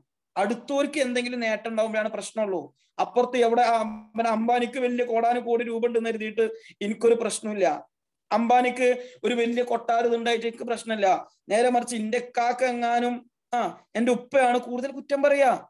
അത് എന്തുകൊണ്ടാണ്? ഉപ്പാക്ക് നേടാത്ത എന്തോ നമുക്ക് എന്തോ എക്സ്ട്രാ കിട്ടിയിട്ടുണ്ട്. അങ്ങനെ മനസ്സിലാക്കുക. എന്നിട്ട് ഉപ്പ അത് വിചാരിച്ച് ഉപ്പാനെ വെറുക്കല്ല വേണ്ടത്? അത് മനസ്സിലാക്കിയിട്ട് ഉപ്പാനെ സ്നേഹിക്കുക. ഓക്കെ ആ ഫാമിലിയിൽ നിന്ന് തന്നെ വിമർശനങ്ങൾ വരിക ഞാൻ പറഞ്ഞില്ലേ? നമ്മളോട് ഏറ്റവും കൂടുതൽ അടുത്തവരെ നമ്മളെ വിമർശിക്കുള്ളൂ. മനസ്സിലായില്ലേ? ഞാൻ ഇനി വേറൊരു സത്യം കൂടിയും പറയാം. നമ്മളെ വിമർശിക്കുന്നവരോർക്ക് എന്റെ ഭർത്താവിന്റെ വീട്ടിൽ പ്രശ്നം എനിക്ക് അവരെക്കാൾ സൗന്ദര്യമുണ്ട്. അവരെക്കാൾ വയസ്സ് കുറവെന്നൊക്കെ. ആ അപ്പൊ നമുക്ക് നല്ല സൗന്ദര്യവും നല്ല വയസ്സൊക്കെ കുറഞ്ഞുകൊണ്ടല്ലേ ഈ പ്രശ്നം? നമ്മളതിൽ സന്തോഷിക്കേ. അയ്യവ അലഹമില്ല എനിക്ക് കുറച്ച് നല്ല സൗന്ദര്യം തന്നല്ലോ. എന്റെ വയസ്സൊക്കെ നല്ല ഉഷാറാണല്ലോ. അങ്ങനെ സന്തോഷിക്കേ. എന്തിനാണ് അതിന്റെ വില കൊടുക്കുന്നത് ഇത് ഇവിടെ ഇതേ ഉള്ളൂ. എന്റെ ചിന്ത ഇതാണ്. എന്താന്ന് വെച്ച് കഴിഞ്ഞാൽ നമുക്ക് എന്തോ നേട്ടം ഉള്ളത് കൊണ്ടാണ് വിമർശനങ്ങൾ വരുന്നത്.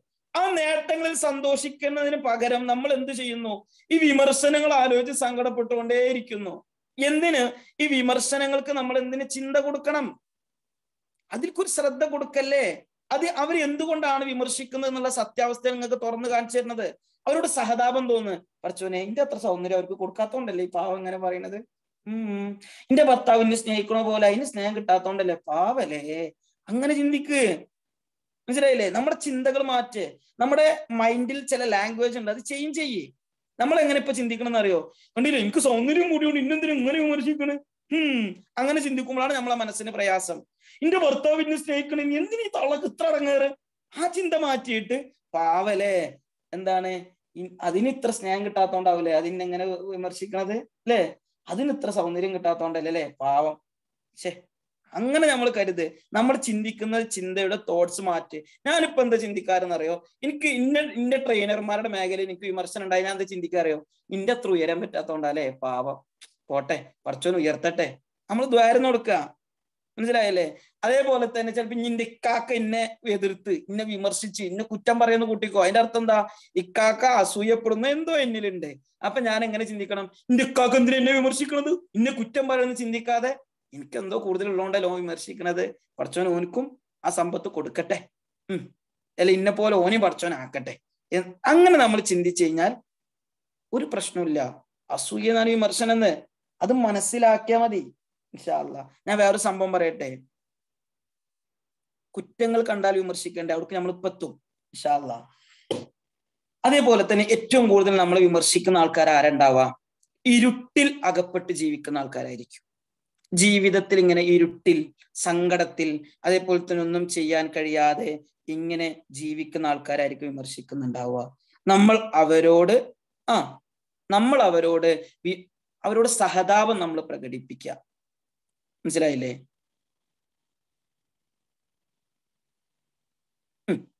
നമ്മൾ അവരോട് എന്ത് ചെയ്യുക സഹതാപാണ് ഉണ്ടാവേണ്ടത്. ഇന്നു മുതൽ അവരോട് എന്തുണ്ടാവാൻ പാടില്ല? വെറുപ്പുണ്ടാവാൻ പാടില്ല. നമ്മുടെ ചിന്തകളുടെ വഴികളൊക്കെ നമ്മൾ മാറ്റുന്നു. ഇന്നു മുതൽ എന്റെ കുട്ടികളൊക്കെ എങ്ങനെ ചിന്തിക്കണം? ആ പടച്ചോനെ ഈ വിമർശനങ്ങളൊക്കെ ഉണ്ടായത് എന്തുകൊണ്ടാണ്? പാവം അവർക്കത് കിട്ടാത്തോണ്ടല്ലേ? ചേ പടച്ചോൻ അത് കൊടുക്കട്ടെ. അങ്ങനെ ചിന്തിക്കുക. അപ്പൊ അവരോടുള്ള വെറുപ്പൊക്കെ മാറിയിട്ട് നമുക്ക് അവരോട് എന്ത് ചെയ്യും? എന്താവും? എന്താവും? ആ വെറുപ്പ് മാറി അവരോട് സ്നേഹാവും ഷാല്ല ഇനിയിവിടെ ആരും സങ്കടപ്പെടലൊന്നുമില്ല. ഷാ നമ്മളെ സങ്കടങ്ങളൊക്കെ ഇവിടുന്ന് ഇപ്പൊ മാറും ഷാല്ല എന്നിട്ട് നമ്മൾ എന്ത് ചെയ്യാ? നമ്മൾ എന്നിട്ട് നമ്മൾ നമ്മളെ ഈ വിമർശനങ്ങൾ ആലോചിച്ച് സങ്കടപ്പെട്ടിരിക്കാതെ. ഞാനൊരു കാര്യം പറയട്ടെ? നമ്മളെ സന്തോഷവും നമ്മളെ സങ്കടവും വേറെ ഒരാളെ കയ്യിലും ഏൽപ്പിക്കരുത്. വേറെ ഒരാളെ കയ്യിൽ ഏൽപ്പിക്കരുത്. നമ്മൾ സന്തോഷം കണ്ടെത്തുന്നത് നമ്മൾ തന്നെയാണ്. സോണോ ശരിയല്ലേ? ആണല്ലേ? ഇന്ന് പല ആൾക്കാരും കുറ്റം പറയാണ്. എന്റെ ജീവിതത്തിൽ എന്തൊക്കെയോ സങ്കടങ്ങൾ സംഭവിച്ചു. ഞാനത് ആലോചിക്കേണ്ട ആവശ്യമില്ല. പാസ്റ്റ് അത് കഴിഞ്ഞു പോയൊരു സംഭവമാണ്. സോണോ എന്റെ ജീവിതത്തിൽ ഇന്ന് കുറെ ആൾക്കാർ കുറ്റം പറഞ്ഞു. അല്ലെങ്കിൽ എന്റെ ജീവിതത്തിൽ എനിക്ക് ഇഷ്ടപ്പെടാത്ത എന്തോ നടന്നു. അത് കഴിഞ്ഞു പോയി. അത് എനിക്ക് ഉണ്ടാക്കാൻ പറ്റൂല. ഞാൻ അതിന് സങ്കടപ്പെടരുത്. പക്ഷേ ഞാൻ ഇപ്പോൾ നിൽക്കുന്ന ജീവിതത്തിൽ ഞാൻ സന്തോഷിക്കണം. ഇൻഷാല്ല കുറെ ആൾക്കാർക്ക് അതിനുള്ള മറുപടി ഞാൻ ലാസ്റ്റ് തരണ്ടേ. മനസ്സിലായില്ലേ? എന്റെ അടുത്ത് ഒരാൾ വന്നിട്ട് പറഞ്ഞു ഒരു കുട്ടി ചെറുപ്പത്തിലെ ക്യാൻസർ ആയിട്ട് മരിച്ചു. എന്നിട്ട് എന്നോട് പറഞ്ഞു പിന്നെ ഭയങ്കര സങ്കടത്തിലാണ്. ഞാൻ ആ ടെൻഷനിൽ നിന്ന് മാറുന്നില്ല. ഈ പള്ളിയിൽ നിന്ന് തന്നെ പ്രസവിച്ചിട്ടില്ല. അതിന്റെ മുന്നേ ക്യാൻസർ ബാധിച്ച് മരിച്ചു എന്ന് പറഞ്ഞു. ഞാൻ അവരോട് പറഞ്ഞ എന്താണെന്നറിയോ? നിങ്ങൾ ജനിച്ചിട്ട് ക്യാൻസർ ആയി വേദന അനുഭവിക്കുന്ന ഒരുപാട് ആൾക്കാരുണ്ട്. നിങ്ങൾ അവരുടെ അടുത്തേക്ക് പോന്ന് പറഞ്ഞു. അങ്ങനെ ഇവരെന്ത് ചെയ്തു ക്യാൻസർ ആയിട്ട് വേദന അനുഭവിക്കുന്ന കുറെ ആൾക്കാരുടെ അടുത്ത് ഇങ്ങനെ പോയി പോയി പോയി പോയപ്പോ അവരുടെ സങ്കടങ്ങൾ കുറഞ്ഞു എന്ന് പറഞ്ഞത്. മനസ്സിലായില്ലേ? അപ്പോ എനിക്ക് നിങ്ങളോട് പറയാനുള്ളത് എന്താന്ന് വെച്ച് കഴിഞ്ഞാൽ നമ്മൾ ആര് വിമർശിച്ചോട്ടെ? കല്യാണം കഴിഞ്ഞതാ പഠിക്കുമ്പോ എന്നെ വിമർശിക്കുന്നു എന്നെ കുറ്റം പറയുന്നു. ആ വിമർശിക്കുന്നവരൊക്കെ എന്തുകൊണ്ടാണ്? ആ നമ്മൾ ഉഷാറാവുന്നതിൽ നമ്മൾ ഉയരുന്നതിലുള്ള അസൂയ കൊണ്ടാണ്. അതുകൊണ്ട് അതിനൊരു വിലയും കൊടുക്കാതെ നമ്മൾ പ്രൊഡക്റ്റീവായി മുന്നേറുക. നമ്മൾ പ്രൊഡക്റ്റീവായി മുന്നേറുക. നമ്മൾ ചുറ്റുഭാഗത്തുള്ള ശബ്ദങ്ങളൊന്നും കേൾക്കണ്ട. നമുക്ക് സത്യം എന്ന് തോന്നുന്നത്. നമ്മൾ നമ്മുടെ ഉയർച്ചയിലേക്ക് അങ്ങനെ പോയിക്കൊണ്ടിരിക്കുക. വിമർശിക്കുന്നവരുടെ മാനസികാവസ്ഥയൊക്കെ ഇന്നു മുതൽ നമ്മൾ മനസ്സിലാക്കിയവരാണ്. അവർ എന്ത് കാരണം കൊണ്ടാണ് വിമർശിക്കുന്നതെന്നൊക്കെ നമ്മൾ മനസ്സിലായിട്ടുണ്ട്. അവർക്ക് നമ്മൾ തോറ്റു കൊടുത്തു കഴിഞ്ഞു കഴിഞ്ഞാൽ അതിന്റെ അർത്ഥം ആ വിമർശനങ്ങൾ കേട്ട് സങ്കടപ്പെട്ട് ഒരു മൂലയിൽ ഇരുന്ന് കഴിഞ്ഞു കഴിഞ്ഞാൽ വിമർശിക്കുന്നവർക്ക് നമ്മൾ തോറ്റു കൊടുത്തു എന്നാണ് അർത്ഥം. അപ്പൊ അവർ സന്തോഷിക്കും. അതല്ല നമ്മൾ ചെയ്യേണ്ടത്. എത്ര വിമർശനങ്ങൾ കേട്ടാലും എത്ര കുറ്റപ്പെടുത്തുകൾ നമ്മൾ കേട്ട് കഴിഞ്ഞു കഴിഞ്ഞാലും നമ്മൾ എന്ത് ചെയ്യാ ആ മുന്നേറിക്കൊണ്ടേയിരിക്കുക. നമ്മൾ എന്ത് ചെയ്യാ മുന്നേറിക്കൊണ്ടേയിരിക്കുക. നമ്മുടെ ചില ആൾക്കാരുണ്ട് എന്താണെന്നറിയോ? നമ്മളെ പോലെ ചില ആൾക്കാർക്ക് പഠിക്കാൻ കഴിയാത്തത് കൊണ്ട് നമ്മളെ പോലെ ഉയരാൻ കഴിയാത്തത് കൊണ്ട് ആ ഇവരും നമ്മളെ പോലെ ഒന്നുമല്ലാതാവണം എന്ന് ചിന്തിക്കുന്ന ഒരു ടീം ഈ ലോകത്തുണ്ട്. ഒരു ഉദാഹരണം പറയാ. നമ്മളെ വീട്ടിൽ കറണ്ട് പോയാൽ നമ്മൾ എന്താ കാട്ടുക അപ്പുറത്ത് വീട്ടിൽ പോയി നോക്കും. ഇവിടെ കറണ്ട് പോയിക്കണോ അവിടെയും കറണ്ട് പോയാൽ സമാധാനമായി കാരണം എന്താ? ഓർക്കും കറണ്ട് ഇല്ലല്ലോ. അപ്പൊ നമുക്കും കറണ്ട് വേണ്ട. ഇതേ ചിന്താഗതിയുള്ള ആൾക്കാരുണ്ട്. എന്താന്ന് വെച്ച് കഴിഞ്ഞാൽ ഞാൻ ഏതായാലും പഠിച്ചിട്ടില്ല. ഞാൻ ഏതായാലും ഉയർന്നിട്ടില്ല. എന്റെ മരുമോളും ഇങ്ങനെ തന്നെ ആയാൽ മതി എന്ന് കരുതുന്ന ഒരു ടീമുണ്ട് നമ്മൾ അതുപോലെ ആവാതെ. അങ്ങനത്തെ ടീം നമ്മളെ എതിർത്തുകൊണ്ടേയിരിക്കും. മനസ്സിലായില്ലേ? അതേപോലെ തന്നെ അവർ നമ്മളെ കുറ്റം പറഞ്ഞുകൊണ്ടേയിരിക്കും. അതിന് നമ്മൾ വില കൊടുക്കാതെ നമ്മൾ പ്രൊഡക്റ്റീവായിട്ട് ഉപയോഗിക്കുക. മനസ്സിലായില്ലേ? നമ്മളെ എത്ര ആൾക്കാര് നമ്മളെ വിമർശിച്ചോട്ടെ എത്ര ആൾക്കാർ നമ്മളെ കുറ്റപ്പെടുത്തിക്കോട്ടെ ആ കുറ്റപ്പെടുത്തലുകൾക്ക് ഇനി നമ്മൾ വില കൊടുക്കാതെ നമ്മൾ പ്രൊഡക്റ്റീവായി പോയിക്കൊണ്ടിരിക്കുമ്പോൾ നമ്മൾ ഇങ്ങനെ പോവന്നെ ചെയ്യാം. മനസ്സിലായില്ലേ? ഇനി ഞാൻ വേറൊരു സത്യം പറയട്ടെ. ഒരു സത്യം പറയട്ടെ. നിങ്ങൾ ആരോടും പറയോ? ഇത് രഹസ്യമാക്കി വെക്കണം. പറയട്ടെ. പറയട്ടെ ചെങ്ങായിമാരെ. ഒരു യെസ് എന്നൊക്കെ പറയും. ഞാനൊരു കാര്യം പറയട്ടെ. നമ്മളെ ഏറ്റവും കൂടുതൽ വിമർശിക്കുന്നവരാണ് നമ്മളെ ഏറ്റവും കൂടുതൽ അടുപ്പുണ്ടാവുക. ഞാൻ പറഞ്ഞത് ശരിയാണോ? ഉദാഹരണത്തിന് ഞാൻ പറയാം. എന്നെ വിമർശിക്കുന്നവരാണ് ഇന്ന് വീഡിയോ ഏറ്റവും കൂടുതൽ നോക്കുക. എന്തിനു വേണ്ടിയിട്ടാണെന്നറിയോ? ഇതിൽ എന്തെങ്കിലും ഒരു കുറവുണ്ടോ? അത് കണ്ടെത്താൻ വേണ്ടിയിട്ട് ഈ വീഡിയോ ഫുള്ള് നോക്കും. എസ് ഓണോ ശരിയല്ലേ?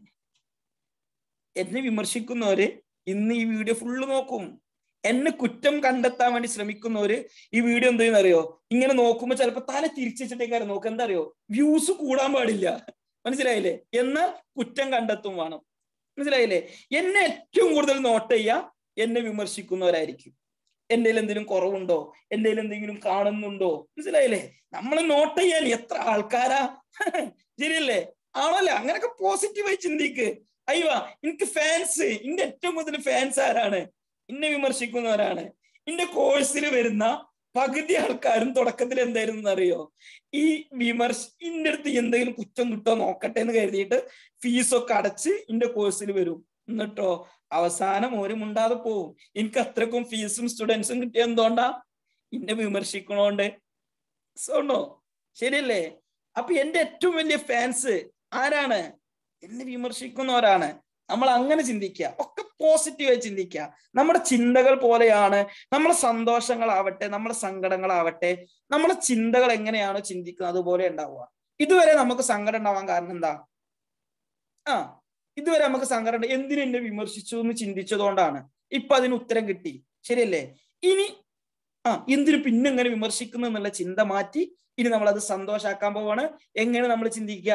പാവലേ എനിക്ക് എന്തൊക്കെയോ കൂടുതലുണ്ടല്ലേ? അതുകൊണ്ട് അതുകൊണ്ടാണ് അതുകൊണ്ടാണല്ലേ ഇന്നെങ്ങനെ വിമർശിക്കണത്. അയ്യവ നൂർജാൻ പറഞ്ഞ പോലെ എനിക്ക് കുറെ ഫാൻസ് ഉണ്ട്. അയ്യവ വിമർശിക്കാൻ ആൾക്കാർ കൂടുന്നതനുസരിച്ച് എന്താണ്? എനിക്ക് കുറെ ഫാൻസ് ഉണ്ട്. അങ്ങനെ ചിന്തിക്കേ. ഇൻഷാല്ല ഓക്കെ. ഇനി ഒരു വിമർശനങ്ങൾ നമ്മളെ ആരെ കുറ്റം പറഞ്ഞാലും നമ്മൾ സങ്കടപ്പെടരുത്. കുറ്റം പറയണ്ട് തോന്നിക്കഴിഞ്ഞാൽ നമ്മൾ ചിന്തിക്കുക അയ്യവ എനിക്കെന്തോ ഒരു നേട്ടമുണ്ട് ആ ഞാൻ എന്തോ എനിക്ക് എന്തൊക്കെയോ ഒരു ഗുണമുണ്ട് അല്ലേ അയ്യവ അങ്ങനെ നമ്മൾ ചിന്തിക്കണം. മനസ്സിലായില്ലേ? എന്നിട്ട് നമ്മൾ എന്ത് ചെയ്യുക ഉഷാറാവാം നമ്മൾ വിമർശിക്കുന്ന വില ഒന്നും നോക്കാതെ നമ്മൾ വിമർശിക്കണ ഓരോ വാക്കുകളൊന്നും കേൾക്കാതെ നമ്മൾ ഉഷാറായിട്ട് മുന്നേറുക. അപ്പൊ അവർ വിമർശിച്ച് വിമർശിച്ച് വിമർശിച്ച് വിമർശിച്ച് അവർക്ക് പൂതി മതിയാവും. അപ്പോൾ ഓര് നമ്മളെ മുന്നിൽ തോറ്റു തരും. ഇൻഷാല്ല മനസ്സിലായില്ലേ? നമ്മൾ ആ നമ്മൾ വീട്ടിൽ കുടുംബത്തിൽ പോയി നമ്മളെ കുറ്റം എങ്ങനെ അമ്മായിമ്മ കണ്ടെത്തുന്നു വിചാരിച്ചോ? അതിനൊരു വിലയും കൊടുക്കാതെ നമ്മൾ വീണ്ടും നല്ല ഉഷാറായിട്ട് ഉഷാറായിട്ട് ഇങ്ങനെ പോവാ. കുറെ കുറ്റം പറയും. അമ്മായിമാർക്ക് മനസ്സിലാവും. ഇതിനോട് എന്ത് പറഞ്ഞിട്ടും കാര്യമില്ല. കുന്നു കുലുങ്ങിയാലും കുഞ്ഞാത്ത് കുലുങ്ങൂല. ജങ്ക ജഗ ജഗ പറഞ്ഞിട്ട് അമ്മായിമ അവിടെ മിണ്ടാതെന്നുള്ളൂ മനസ്സിലായില്ലേ? നമ്മൾ എന്ത് ചെയ്യരുത്? അമ്മായിമ പറഞ്ഞ വാക്ക് കേട്ട് തളരാതെ നമ്മൾ മുന്നേറിക്കൊണ്ടേയിരിക്കുക അവിടെ അങ്ങനെ പറഞ്ഞോട്ടെ. മനസ്സിലായില്ലേ? ആ വിമർശകർ എനിക്ക് മുന്നോട്ടുള്ള സ്റ്റെപ്പാണ് ആ വിമർശിക്കുന്നവരിന്റെ ഫാൻസ് ആണെന്ന് ചിന്തിച്ച് മുന്നോട്ട് പോവുക. കുറെ വിമർശിക്കുമ്പോ പൂതി മതിയാവും അവരെന്തേ കാലം നിർത്തിക്കോളും. ഇഷാല്ല ഇനി അടുത്തത് എങ്ങനെയാണ് വിമർശനങ്ങൾ എങ്ങനെയാണ് നേരിടേണ്ടത്? ഇപ്പൊ മനസ്സിലായില്ലേ? വിമർശിക്കുന്നവരുടെ മാനസികാവസ്ഥ നമ്മൾ മനസ്സിലാക്കി അല്ലേ ഇനി ഞാൻ വേറൊരു ഉപദേശം ഞാൻ പറയാണ്. ആത്മാർത്ഥമായി വിമർശിക്കുന്നവർ ഇത് നിങ്ങൾ നോട്ട് ചെയ്ത് വെച്ചോ. ആത്മാർത്ഥമായി വിമർശിക്കുന്നതിനെ സംഗീതം പോലെ ആസ്വദിക്കണം എന്നാണ് ആത്മാർത്ഥമായി വിമർശിക്കുന്നവരെ സംഗീതം പോലെ ആസ്വദിക്കണം എന്നാണ് ഞാൻ എന്റെ ഒരു കാര്യം പറയാം. ഞാൻ ഈ കോഴ്സ് സ്റ്റാർട്ട് ചെയ്യുമ്പോൾ എന്റെ അടുത്ത് ഒരുപാട് നെഗറ്റീവ്സുകൾ എനിക്കുണ്ടായിരുന്നു. അന്ന് ഇന്നെ ഒരുപാട് ആൾക്കാർ എന്നെ വിമർശിച്ചിരുന്നു. എന്നോട് പറഞ്ഞു ജമാൽ എജി പറിച്ച് ചെയ്യുന്നത് ശരിയല്ല കേട്ടോ ആദ്യം ഗേൾസും ബോയ്സും മിക്സ്ഡ് ഗ്രൂപ്പ് ആയിരുന്നു. അതേപോലെ തന്നെ അങ്ങനെ ഒരുപാട് ഫാൾട്ടുകൾ എനിക്ക് എന്റെ ഭാഗത്തുണ്ടായിരുന്നു. അപ്പൊ എന്നോട് വന്നിട്ട് പറഞ്ഞു ജമാലെ ശ്രദ്ധിക്കണം കേട്ടാ അത് എന്നെ ആത്മാർത്ഥമായിട്ട് വിമർശിക്കുകയാണ്. അത് ഞാൻ സംഗീതം പോലെ ആസ്വദിച്ച് ഞാൻ അത് തിരുത്തലുകൾ വരുത്തുമ്പോഴാണ് എന്റെ ജീവിതം സക്സസ് ആവുള്ളൂ. ഓക്കെ രണ്ട് തരം വിമർശനം ഉണ്ട് ഒന്ന് ഇനി നമ്മൾ ഒരാൾ ആത്മാർത്ഥമായി നമ്മൾ നന്നാവാൻ വേണ്ടി നമ്മളെ വിമർശിക്കുന്നു എന്നുണ്ടെങ്കിൽ എന്ത് ചെയ്യാ? അത് സംഗീതം പോലെ ആസ്വദിച്ച് അതിന് ശരിയുണ്ടെങ്കിൽ ആ മാറ്റ തിരുത്തലുകളൊക്കെ വരുത്തി നമ്മൾ എന്ത് ചെയ്യണം? മുന്നോട്ട് പോകണം ഓക്കെ മനസ്സിലായോ? ഇതുവരെ ഉള്ളത് ക്ലിയർ ആയോ? വിമർശനത്തിലെ ആത്മാർത്ഥത എങ്ങനെ ആ തിരിച്ചറിയും? അത് അവരുടെ സ്ലാങ്കിൽ നിന്നും സംസാര ശൈലിയിൽ നിന്നൊക്കെ മനസ്സിലാവും. സോണോ ശരിയല്ലേ? ഒരാൾ എങ്ങനെയാണത് പറയാ? ഒരു ഉദാഹരണത്തിന് പറയാം. ഒരു വിമർശനം എങ്ങനെ ഉണ്ടാവും അറിയോ ജമാലല്ലേ? ഓന്റെ ക്ലാസ് അല്ലേ അതൊക്കെ തല്ലിപ്പൊളിയാടാ മുണ്ടാ പൊയ്ക്ക. ഇതൊരു വിമർശനം. ഈ വിമർശനത്തിന്റെ അർത്ഥം എന്താ? ആ. ആ വിമർശനത്തിന്റെ അർത്ഥം എന്താണ്? എന്നോടുള്ള അസൂയാണെന്ന് നേരെ മറിച്ച് പറയണേ ജമാലെ ജമാൽ ആ കാര്യം കൂടി ഒന്ന് ശ്രദ്ധിച്ചോന് ഉഷാറാട്ടോ. ആ വിമർശനം എന്താണ്? ആത്മാർത്ഥമായിട്ടുള്ള വിമർശനമാണ് ഇഷാല്ല ഇത് രണ്ടും മനസ്സിലാവും. ഓക്കെ. ഇനി വിമർശനങ്ങൾ വന്നാൽ എങ്ങനെ നേരിടണം? പറയട്ടെ. ആ വെറുതെ സംസാരിക്കുന്നവരെ മെയിൻ ചെയ്യണ്ട. അതന്നെ. നമ്മൾ ഇങ്ങനെ പറഞ്ഞോട്ടെ അതൊരു ചീവിടാണ് അത് അതെന്തൊക്കെയാണ് അതൊന്നും മെയിൻ ചെയ്യേണ്ട അത് എന്നോടുള്ള അസൂയ കൊണ്ടാണെന്ന് മനസ്സിലാക്കുക നമ്മളെ ലൈഫ് മുന്നോട്ട് പോവുക. വിമർശിക്കുന്നവരെ എങ്ങനെയാണ് നേരിടുക? ഞാൻ പറയട്ടെ? പറയട്ടെ വിമർശിക്കുന്നവരെ എങ്ങനെയാണ് നേരിടേണ്ടെന്ന് ഞാൻ പറയട്ടെ? നിങ്ങൾ റെഡി അല്ലേ? ഒരു എസ് ഒക്കെ പറയും. വിമർശിക്കുന്നവരെ നേരിടേണ്ടത് ഒന്നാമത്തത് വിമർശനങ്ങൾക്ക് മൈൻഡ് ചെയ്യാതിരിക്കുക എന്നുള്ളതാണ്. ഓക്കെ എങ്ങനെയാന്ന് വെച്ച് കഴിഞ്ഞാൽ അവർ വിചാരിച്ച പ്രതികരണം ഞാൻ കൊടുക്കാൻ പാടില്ല. ഒരു ഉദാഹരണത്തിന് എന്റെ ഒരാൾ ഇന്നെപ്പറ്റി ഇങ്ങനെ കുറ്റം പറയണ എന്റെ മുന്നിൽ നിന്ന് അമ്മായിമ്മ നമ്മളെങ്ങനെ പിരാന്താക്കുകയാണ് എന്തിനു വേണ്ടിയിട്ടാണ് അമ്മായിമ്മ അത് പറയണത്? നമ്മൾ തിരിച്ച അമ്മായിമ്മയോട് ചൂടാവാൻ വേണ്ടിയിട്ടാണ്. എസോണോ ശരിയല്ലേ? അത് അമ്മായിമ്മ ഇങ്ങനെ പറയുമ്പോ അമ്മായിമ്മ വിചാരിച്ച പ്രതികരണം കൊടുക്കാതിരിക്കുക. അമ്മായിമ ഇങ്ങനെ ചൂടാകുമ്പോ നമ്മളിങ്ങനെ ചിരിച്ചിട്ട് ഇന്നും മുതൽ ഇങ്ങനെ അമ്മായിമ അവിടുന്ന് നമ്മളെ കുറ്റം ഇങ്ങനെ പറയണേ. അപ്പൊ നമ്മൾ അമ്മായിമാനെ മുഖത്ത് നോക്കിയിട്ട് ഇങ്ങനെ ചിരിച്ചു നോക്ക്. ആയിക്കോട്ടെ എന്നാ ശരി കേട്ടോ അസ്സലാം വലൈക്കും എന്ന് പറഞ്ഞു പോയാ അമ്മായിമ സസ്യായി. ആ ഇതിനും വലിയ തിരിച്ചടി വേറെ ഒന്നുമില്ല ഇതിനും വലിയ തിരിച്ചടി വേറെ ഒന്നുമില്ല അത് അവർക്ക് ഭയങ്കര അടങ്ങേറായി കാരണം നിങ്ങൾ അമ്മായിമാനെ അടങ്ങേറാക്കാനാണ് ഉദ്ദേശമെങ്കിൽ അമ്മായിമ്മ പറഞ്ഞതിന് മറുപടി. ഇപ്പൊ നമ്മളെ ഭർത്താവ് നമ്മളങ്ങനെ കുറ്റം പറയണേ. എന്തിനാണ് കുറ്റം പറയണത്? ചിലപ്പോ നമ്മളെ കരയാൻ വേണ്ടിയിട്ടേ കാരം അല്ലെങ്കിൽ നമ്മളൊരു പ്രശ്നം ഉണ്ടാക്കാൻ വേണ്ടിയിട്ട് കാരണം ഭർത്താവ് കുറ്റം പറയുണ്ടാവുക ആ ഭർത്താവ് വിചാരിച്ച കരച്ചിൽ നമ്മളെ ഭാഗത്തുനിന്ന് കൊടുക്കാതിരിക്കുക. ഭർത്താവ് കുറ്റം പറയും ഇന്നു മുതൽ ഭർത്താവിനോട് അയ്യോ സാർ ഗുഡ് ഇങ്ങനെയൊക്കെ പറഞ്ഞു നോക്കി. ഭർത്താവ് വിചാരിക്കും ഛേ വെറുതെ കുറ്റം പറഞ്ഞു അല്ലേ അല്ലെങ്കിൽ ഭർത്താവ് ആദ്യം കുറ്റം പറയുമ്പോൾ ഇങ്ങനെ കിടന്ന് മോഹന കുറെ ഭാര്യമാരുണ്ട്. ഞാൻ അവരോട് പറഞ്ഞെന്താ വെച്ച് കഴിഞ്ഞാൽ ഒരിക്കലും എന്ത് ചെയ്യരുത്. അവർ വിചാരിച്ച മറുപടി അവർ വിചാരിച്ച പ്രതികരണം നമ്മൾ കൊടുക്കാൻ പാടില്ല. മനസ്സിലായില്ലേ? ഇപ്പോ ഇന്നെ ആ ഇന്റെ മേലുള്ളവർ എന്തിനാണ് എന്നെ വിമർശിക്കുക? ഞാൻ അവർക്ക് മറുപടി പറയണം. അപ്പൊ അതിനുള്ള ഫാൾട്ടുകൾ കണ്ടെത്തണം. അതാണ് അവർ കരുതുക. ശരിയല്ലേ? ഞാൻ അവർക്കൊരു മറുപടിയും കൊടുക്കാതെ ഇങ്ങനെ മുണ്ടാതിരുന്ന് നോക്ക്? ഇങ്ങനെ വിമർശിക്കുകയാണ്. കുറെ പല ഭാഗത്തുനിന്ന് അങ്ങനെ വിമർശനങ്ങൾ ഇങ്ങനെ കേൾക്കുകയാണ്. അവർ കരുതുന്ന എന്താ? കുറെ വിമർശനങ്ങൾ കേൾക്കുമ്പോൾ ഞാൻ മറുപടി പറയുന്നു എന്നിട്ട് എന്റെ തെറ്റുകൾ മനസ്സിലാക്കുന്നു. അവിടെ വെച്ച് ജമാലിന്റെ ഒരു തെറ്റ് കിട്ടിക്കഴിഞ്ഞാൽ ഓനെ ഏപ്പ് കൂട്ടണം എന്ന് കരുതി എന്നെ അങ്ങനെ വിമർശിക്കുകയാണ്. ഞാൻ എന്ത് ചെയ്യാണ്? ആ സമയത്ത് മുണ്ടാതിരുന്നു. അവർ വിചാരിച്ച മറുപടി ഞാൻ കൊടുത്തില്ല. എന്തായി? ഓർക്ക് അതിന്റെ അത്ര വെറുപ്പുള്ള ഒരു അവരടങ്ങറാക്കണ വേറൊരു സംഭവം ഉണ്ടാവൂല. മനസ്സിലായില്ലേ? മൗനം പാലിക്കുക. നിബിതങ്ങൾ പറഞ്ഞതുപോലെ. ഉണ്ടാതിരുന്ന് നോക്കി. ഒരു പ്രശ്നം ഉണ്ടാവില്ല അവർ വിചാരിക്കണ റിപ്ലൈ നമ്മൾ കൊടുത്തു വരെ സന്തോഷിപ്പിക്കരുത്. ഇൻഷാല്ല കൊടുക്കുവോ?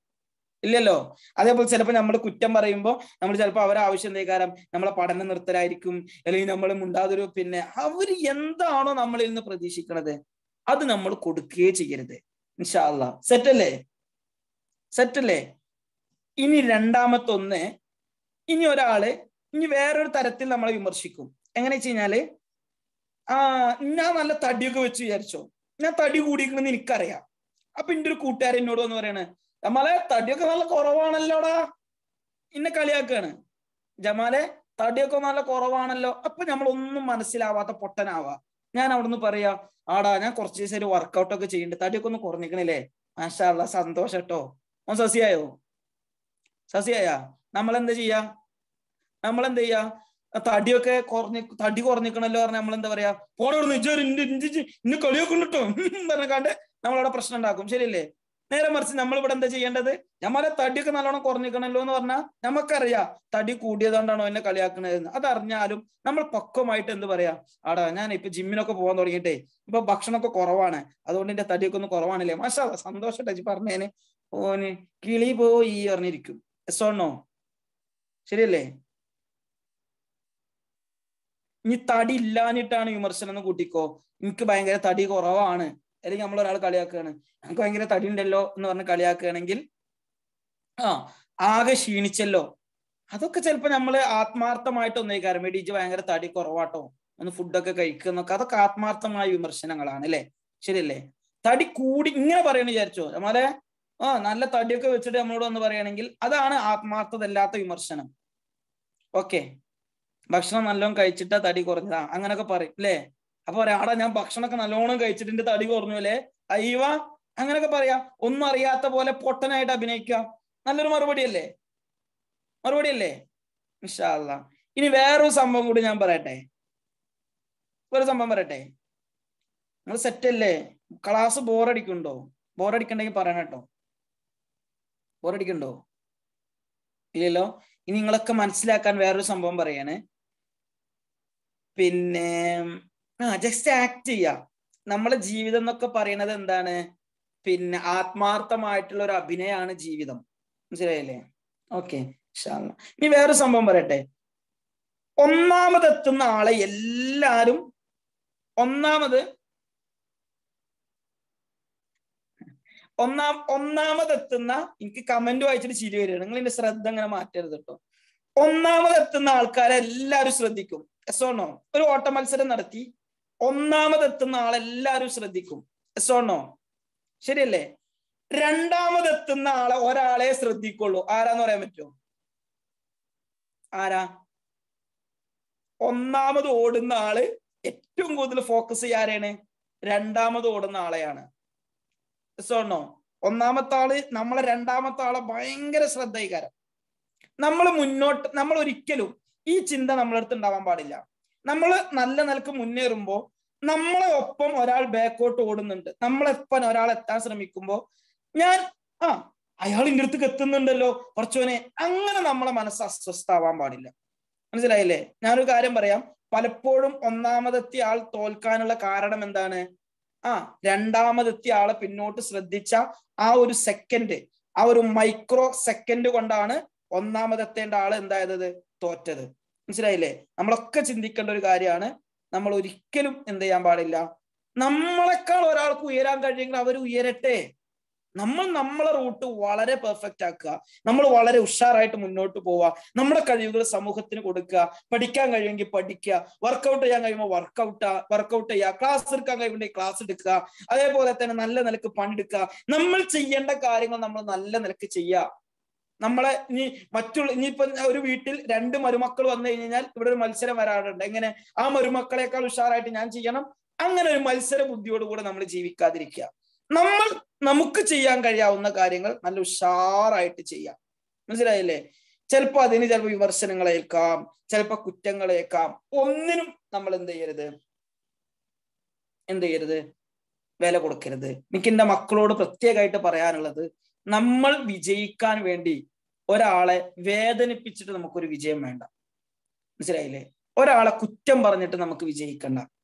മനസ്സിലായില്ലേ? ആ വേദന ഏറ്റവും കൂടുതൽ അനുഭവിക്കുന്ന ഒരാളാണ് ഞാൻ.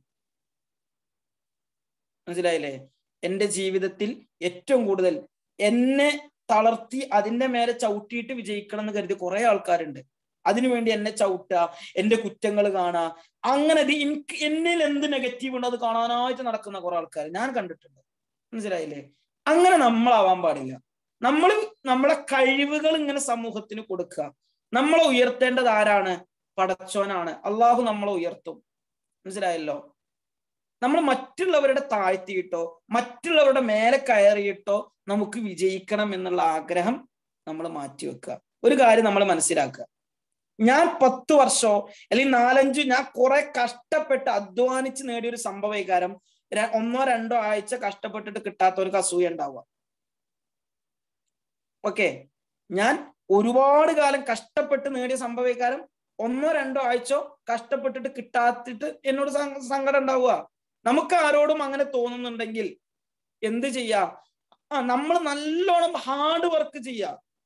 മനസ്സിലായില്ലേ? നല്ലോണം ഹാർഡ് വർക്ക് ചെയ്യുക ഞാൻ ഒരു കാര്യം പറയട്ടെ? സക്സസ് എന്ന് പറഞ്ഞ സംഭവം ഇങ്ങനെ കുഴിച്ചാൽ തീരുന്ന സ്വർണകനൊന്നല്ല മനസ്സിലായില്ലേ? എല്ലാവർക്കും സക്സസ് ആവാൻ കഴിയും.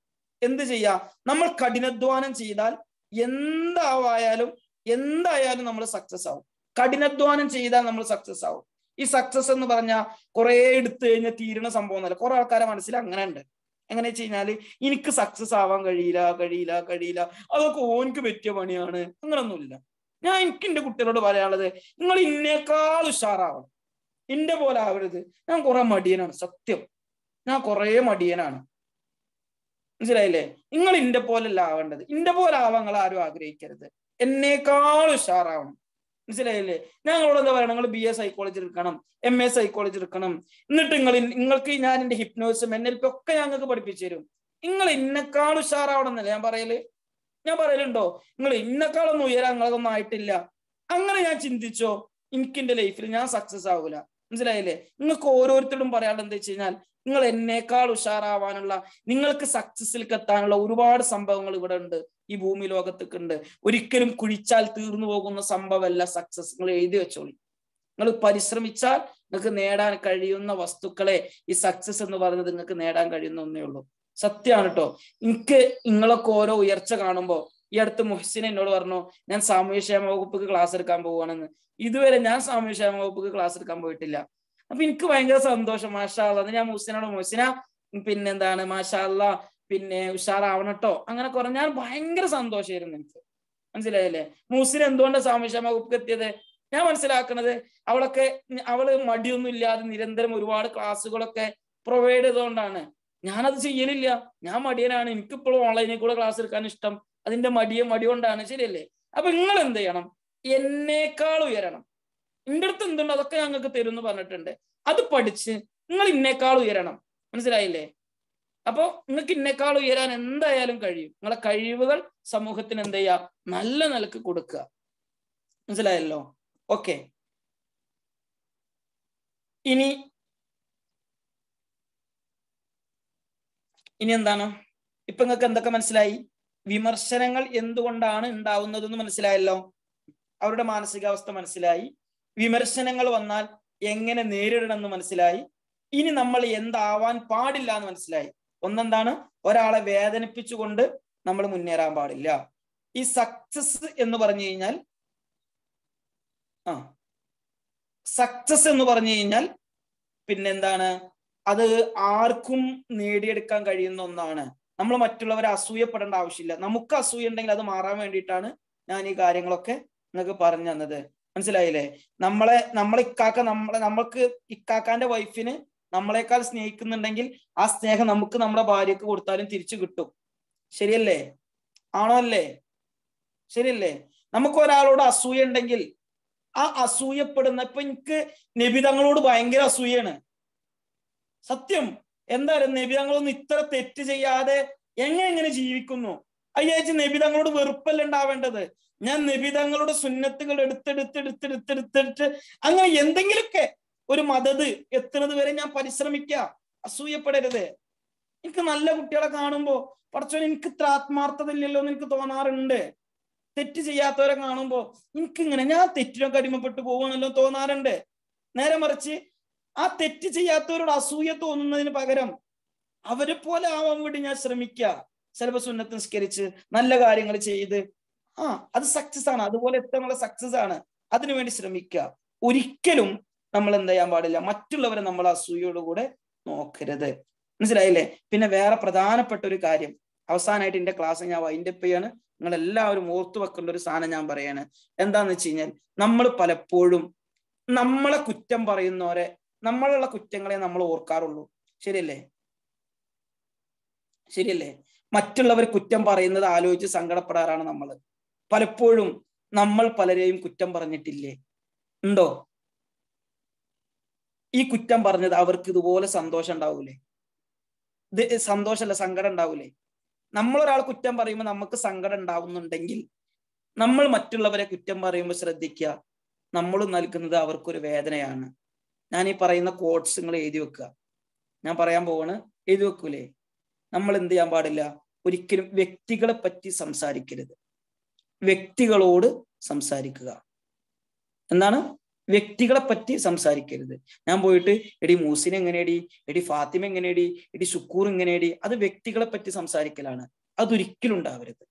എന്ത് പറ്റും? വ്യക്തികളോട് പോയി സംസാരിക്കാം. മുസിന ജി ചെയ്ത് തെറ്റാട്ടോ. ആരോടും പറയണൊന്നുമില്ല. ഇത് റെഡി ആക്കണം കേട്ടോ പറയാം. ഓക്കെ അവിടെ അർഷാദെ ഇത് ചെയ്ത് തെറ്റാട്ടോ. ഇജ ഒന്ന് ശരിയാക്കണം കേട്ടോ വ്യക്തികളോട് സംസാരിക്കാം. പക്ഷെ നമ്മൾ വ്യക്തികളെ പറ്റി ഇനി സംസാരിക്കരുത്. ഷാല്ല ഉറപ്പല്ലേ? വ്യക്തികളെ പറ്റി സംസാരിക്കരുത്. വ്യക്തികളോട് സംസാരിക്കുക. ഷാല്ല നമ്മളെ കുറ്റം പറയുമ്പോൾ നമുക്ക് വേദനിക്കുന്നത് പോലെ മറ്റുള്ളവരെ കുറ്റം പറയുമ്പോൾ തെറ്റ് ചെയ്യാത്തവരാരും ഇല്ല ഈ ലോകത്ത്. എനിക്ക് എന്റെതായിട്ടുള്ള കുറവുകളുണ്ട്. ഈ സൂം മീറ്റിംഗിൽ ഇരിക്കുന്ന നിങ്ങൾക്കൊക്കെ നിങ്ങളുടേതായിട്ടുള്ള കുറവുകളുണ്ട് തെറ്റുകളുണ്ട് എല്ലാം ഉണ്ട് നമ്മൾ നമ്മുടെ കുറവുകൾ മനസ്സിലാക്കുക തിരുത്താൻ വേണ്ടിയിട്ട് ശ്രമിക്കുക. അള്ളാഹു നമുക്കതൊക്കെ തിരുത്താൻ തൗഫീക്ക് നൽകട്ടെ. മറ്റുള്ളവരുടെ കുറ്റങ്ങൾ പറയാൻ നമുക്ക് ഒരു അവകാശമില്ല നമ്മളൊന്ന് ആലോചിച്ച് നോക്കുക. അള്ളാഹു എങ്ങാനും എന്റെ കുറവുകൾ എങ്ങാനും പരസ്യമാക്കിയിരുന്നെങ്കിൽ എന്തായിരിക്കും എന്റെ അവസ്ഥ? ശരിയല്ലേ? നമ്മൾ അത്ര വലിയ നല്ലവരാണ്? നമ്മൾ ഒരാളെ പറ്റിയും ഇനിയൊരു കുറ്റം പറയണ്ട. ഓക്കെ? ഇതോടുകൂടെ ഇതോടുകൂടെ ഞാൻ പറയാൻ ഉദ്ദേശിച്ച കാര്യം അസ്തമിച്ചു. എന്റെ ക്ലാസ് കൊണ്ട് നിങ്ങൾക്ക് ഉപകാരം ഉണ്ടായി എന്ന് കരുതുന്നു. ഇനി നിങ്ങൾക്ക് ചോദിക്കാനുള്ള ചോദ്യങ്ങൾ ചോദിക്കാം. എന്തെങ്കിലും ചോദ്യങ്ങൾ ഉണ്ടെങ്കിൽ ചോദിക്കാം.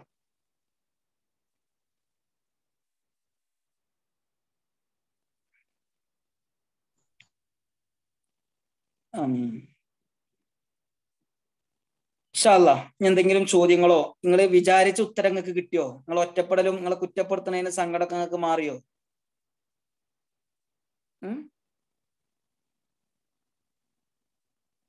ഞാൻ ആ കമന്റ് വായിച്ചപ്പോ ഒരു സംഭവം ഞാൻ കണ്ടു. എന്താ വെച്ച് കഴിഞ്ഞാൽ പ്രണയിച്ച ഒരാളെ മനസ്സിന്ന് പോണില്ല. ഞാനൊരു കാര്യം പറയട്ടെ. ഞാൻ ഒരാളെ മറക്കാൻ ശ്രമിച്ചു കഴിഞ്ഞാൽ മറക്കൂല. ഉം? ഒരാളെ മറക്കാൻ ശ്രമിക്കുകയാണ് ഇപ്പൊ ഒരു ഉദാഹരണത്തിന് ഞങ്ങളോട് പറയാണ് നമ്മളെ മൈൻഡിൽ മുഴുവൻ ഇമേജ് ആയിട്ടാണുള്ളത്. നിങ്ങളോട് ഞാൻ പറയാണ് കാറ് എന്നുള്ള വസ്തുവിനെ നിങ്ങൾ മറക്കുക എന്ന് പറയാണ്. നിങ്ങൾക്ക് കാറിനെ മറക്കാൻ പറ്റും. നിങ്ങളെ മനസ്സിലൊക്കെ കാറ് ഓടി വന്നില്ലേ? ശരിയല്ലേ? ഒരു വസ്തുവിനെ മറക്കുക എന്നുള്ള സംഭവം നമ്മളെ കൊണ്ട് പറ്റൂല. അപ്പൊ നമ്മൾ എന്താ ചെയ്യേണ്ടേന്ന്? അല്ലേ? നമ്മൾ കഴിഞ്ഞ ജീവിതത്തിൽ നമുക്ക് ഒരുപാട് അനുഭവങ്ങൾ ഉണ്ടാവാം. ഒരു വ്യക്തിയിൽ നിന്ന് ഒരുപാട് അനുഭവങ്ങൾ ഉണ്ടാവാം. ചിലപ്പോൾ സുന്ദരമായ ഓർമ്മകളാവാം. അതൊക്കെ നമ്മളെ മിസ് ചെയ്യുന്നുണ്ടാവും. ഓക്കെ ഞാൻ അവനെ എനിക്ക് അവനെ മറക്കണം അവനെ മറക്കണം അവനെ മറക്കണം നിരന്തരം നമ്മൾ പറയും തോറും നമ്മൾ അവനെ ഓർക്കേ ചെയ്യുള്ളൂ. ഓക്കെ ഇന്നു മുതൽ മറക്കണം എന്ന് കരുതാൻ പാടില്ല. നമ്മൾ എന്ത് പറയാ? എനിക്ക് അവനിൽ നിന്ന് ഒരുപാട് ആ കഴിഞ്ഞു അല്ലേ? ഞാൻ കഴിഞ്ഞത് ആലോചിച്ച് സങ്കടപ്പെടാനുള്ള നിമിഷമൊന്നല്ല. എനിക്ക് ഇപ്പത്തെ ലൈഫ് എനിക്ക് ഹാപ്പി ആക്കണം. അതിന് എന്ത് ചെയ്യണം? ഞാൻ അവനെ മറക്കൽ ചെയ്യേണ്ടത്? നിങ്ങളൊരു കാര്യം ചെയ്തോളി. ശ്വാസം മേപ്പോട്ട് വലിക്കുക. അപ്പോ അതിൽ ഞാൻ അവനെ ഒരുപാട് സ്നേഹിച്ചിരുന്നു. എനിക്ക് അവരിൽ നിന്ന് ഒരുപാട് അനുഭവങ്ങൾ ഉണ്ടായിട്ടുണ്ട്. ഒക്കെ ശരിയാണ്. ഓക്കെ പക്ഷേ ഞാൻ ഇപ്പോൾ നിൽക്കുന്ന സ്റ്റാൻഡ് ഇപ്പോൾ അവൻ എന്റെ കൂടെ ഇല്ല. ഇനി എനിക്ക് എന്താവണം ഒരുപാട് മുന്നേറണം.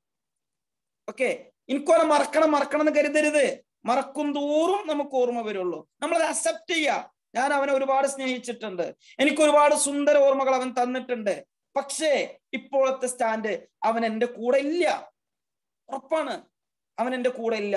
ഇനി എന്റെ ലൈഫ് സക്സസ് ആവണം എന്നുണ്ടെങ്കിൽ ഞാൻ എന്ത് ചെയ്യണം? ഒരുപാട് സന്തോഷിപ്പിക്കുന്ന പ്രവർത്തനങ്ങൾ ചെയ്യണം. ഞാൻ എന്റെ ഭർത്താവിനെ സ്നേഹിക്കണം എന്റെ മക്കളെ നോക്കണം എന്റെ ജീവിതത്തിൽ ഒരുപാട് ഉയരങ്ങളിലേക്ക് എത്താൻ വേണ്ടി ശ്രമിക്കണം. അപ്പോ എന്റെ സങ്കടങ്ങളൊക്കെ മെല്ലെ മെല്ലെ നശിച്ചു പോകും. മനസ്സിലായല്ലോ? എനിക്ക് അവനെ മറക്കണമെന്ന് എന്നോട് പറയാൻ പാടില്ല. ഓർമ്മകൾ ഒരിക്കലും മറക്കൂല. അത് അവിടെ ഇമേജ് ആയിട്ട് സേവ് ചെയ്തുകൊണ്ടേയിരിക്കും. രക്ഷപ്പെടാനുള്ള ആകൊരു വഴി ആകൊരു വഴി എന്താണ്? ആ കഴിഞ്ഞത് നമ്മൾ ശ്രദ്ധ കൊടുക്കാതെ ഇനിയുള്ള ലൈഫ് സന്തോഷാക്കാൻ നോക്കുക. കഴിഞ്ഞത് കഴിഞ്ഞു. ഇപ്പുള്ള ലൈഫ് അത് ഹാപ്പി ആക്കുക. കഴിഞ്ഞത് ആലോചിച്ച് ഇപ്പൊ നടന്നുകൊണ്ടിരിക്കുന്ന ജീവിതം സങ്കടപ്പെടുത്താതെ. അതൊക്കെ അള്ളാന്റെ ഒരു കല ആണ്. കലാഹ് ഒരുപാട് സംഭവിച്ചു. എന്റെ ജീവിതത്തിൽ എത്ര സങ്കടങ്ങൾ നടന്നിക്കണം ഒരു കാര്യം പറയട്ടെ. ഞാൻ എന്റെ വീട്ടിൽ ഒരു പിന്നെ ടാർപ്പായി കെട്ടിയിട്ട് എന്റെ ഉമ്മ പള്ളം പൊള്ളാച്ചി പള്ളം എന്ന ഭാഗത്ത് ടാർപ്പായി കെട്ടിയിട്ട് അടുക്കള ഒരു കാർബോർഡ് ആയിക്കാരം. ഇപ്പുറത്തെ അടുക്കളയും ഇപ്പുറത്ത് ഞങ്ങൾ മക്കളെല്ലാവരും കടന്ന അനുഭവം ഞാൻ അത് ആലോചിച്ച് സങ്കടപ്പെടരുത്. അത് ആലോചിച്ച് സങ്കടപ്പെട്ട എന്റെ ലൈഫ് സങ്കടപ്പെടാനേ നേരം ഉണ്ടാവുള്ളൂ. ഇപ്പൊ ഞാൻ ആലോചിക്കണം എന്താണ്? പക്ഷെ എനിക്ക് എന്തൊക്കെ തന്നു അല്ല. ഇത് ഞാൻ ആസ്വദിക്കുകയാണ് അപ്പൊ സ്വാഭാവികമായിട്ടും അതൊക്കെ ഞാൻ മറന്നു. ശരിയല്ലേ? എന്റെ ലൈഫിൽ എന്റെ ഉമ്മിപ്പിന്നെ എത്തിങ്ങാനെ കൊടുന്നാക്കിയിട്ടുണ്ട്. അല്ലെങ്കിൽ ഞാൻ എന്റെ ഉമ്മിപ്പില്ല കുറെ കാലം ജീവിച്ചിട്ടുണ്ട് ദർശനമൊക്കെ ആയിട്ട്. ഞാൻ അന്ന് ഞാൻ ദർശി പഠിക്കുമ്പോ എന്റെ ഉമ്മ കൂടെ ഉണ്ടായില്ലല്ലോ എന്ന് ആലോചിച്ച് സങ്കടപ്പെടയിൽ അർത്ഥമൊന്നുമില്ല. ഇപ്പൊ എനിക്ക് എന്റെ ഉമ്മ എന്റെ പെങ്ങന്മാരുണ്ട്. ഇനി എന്റെ ലൈഫ് സക്സസിൽ കത്തട്ടെ കഴിഞ്ഞത് കഴിഞ്ഞു. അത് ഒരു കഥ ആയിരുന്നു. അത് ഞാൻ ആലോചിച്ചിട്ട് വല്ല കാര്യമുണ്ടോ? ഇല്ല. ആ സങ്കടങ്ങൾ റിമൂവ് ചെയ്യുക. അത് മറക്കാൻ ശ്രമിക്കരുത്. ഞാൻ ഇതൊക്കെ അനുഭവിച്ച ആളാണ്. പക്ഷെ ഇനി എന്റെ ലൈഫ് ഹാപ്പി ആവണമെങ്കിൽ എന്ത് ചെയ്യണം? എന്റെ ലൈഫ് ഇനി ഹാപ്പി ആവണം. ഇനി എനിക്ക് ഒരുപാട് ജീവിതമുണ്ട്. നമ്മൾ എന്ത് ചെയ്യാ? കൂട്ടുകാരന്മാട് വർത്താനം പറയാ. ഒരുപാട് പ്രവർത്തനങ്ങൾ ഇങ്ങനെ ചെയ്തുകൊണ്ടേ ഇരിക്കുക നമ്മളറിയാതെ സന്തോഷത്തിലാവും. മനസ്സിലായില്ലേ? അതന്നെ. നമ്മൾ വേറെ പല കാര്യങ്ങൾക്കും ബിസി ആയിക്കൊണ്ടേയിരിക്കുക എനിക്ക് ഓനെ മറക്കണം മറക്കണം എന്ന് കരുതാതിരിക്കുക ഓക്കെ. പല കാര്യങ്ങൾക്കും ബിസി ആയിക്കൊണ്ടേ ഇരുന്നോക്ക് എല്ലാം മറക്കാൻ പറ്റും. ഞാനൊരു കാര്യം പറയട്ടെ. നമുക്കൊരു സങ്കടം വന്നു. സങ്കടം വരുമ്പോ ഞാനൊരു മൂലൊക്കെ പോയിട്ട് ഞാൻ സങ്കടത്തിലാണല്ലോ പറഞ്ഞിരുന്ന സങ്കടം കൂടുള്ളൂ. നേരെ മറിച്ച് ഞാനൊരു സങ്കടം ഇല്ലാത്ത മാതിരി എന്റെ ബിഹേവിയറെ മാറ്റിയിട്ട് ആ എന്തൊക്കെ വർത്താനം? സുഖല്ലേ? ആ ആ അങ്ങനെ ചിരിച്ച് ചിരിച്ച് നടന്നോക്ക് അപ്പൊ എന്റെ സങ്കടം ഇങ്ങനെ കുറഞ്ഞു കുറഞ്ഞു കുറഞ്ഞു കുറഞ്ഞു വരും. ശരിയല്ലേ.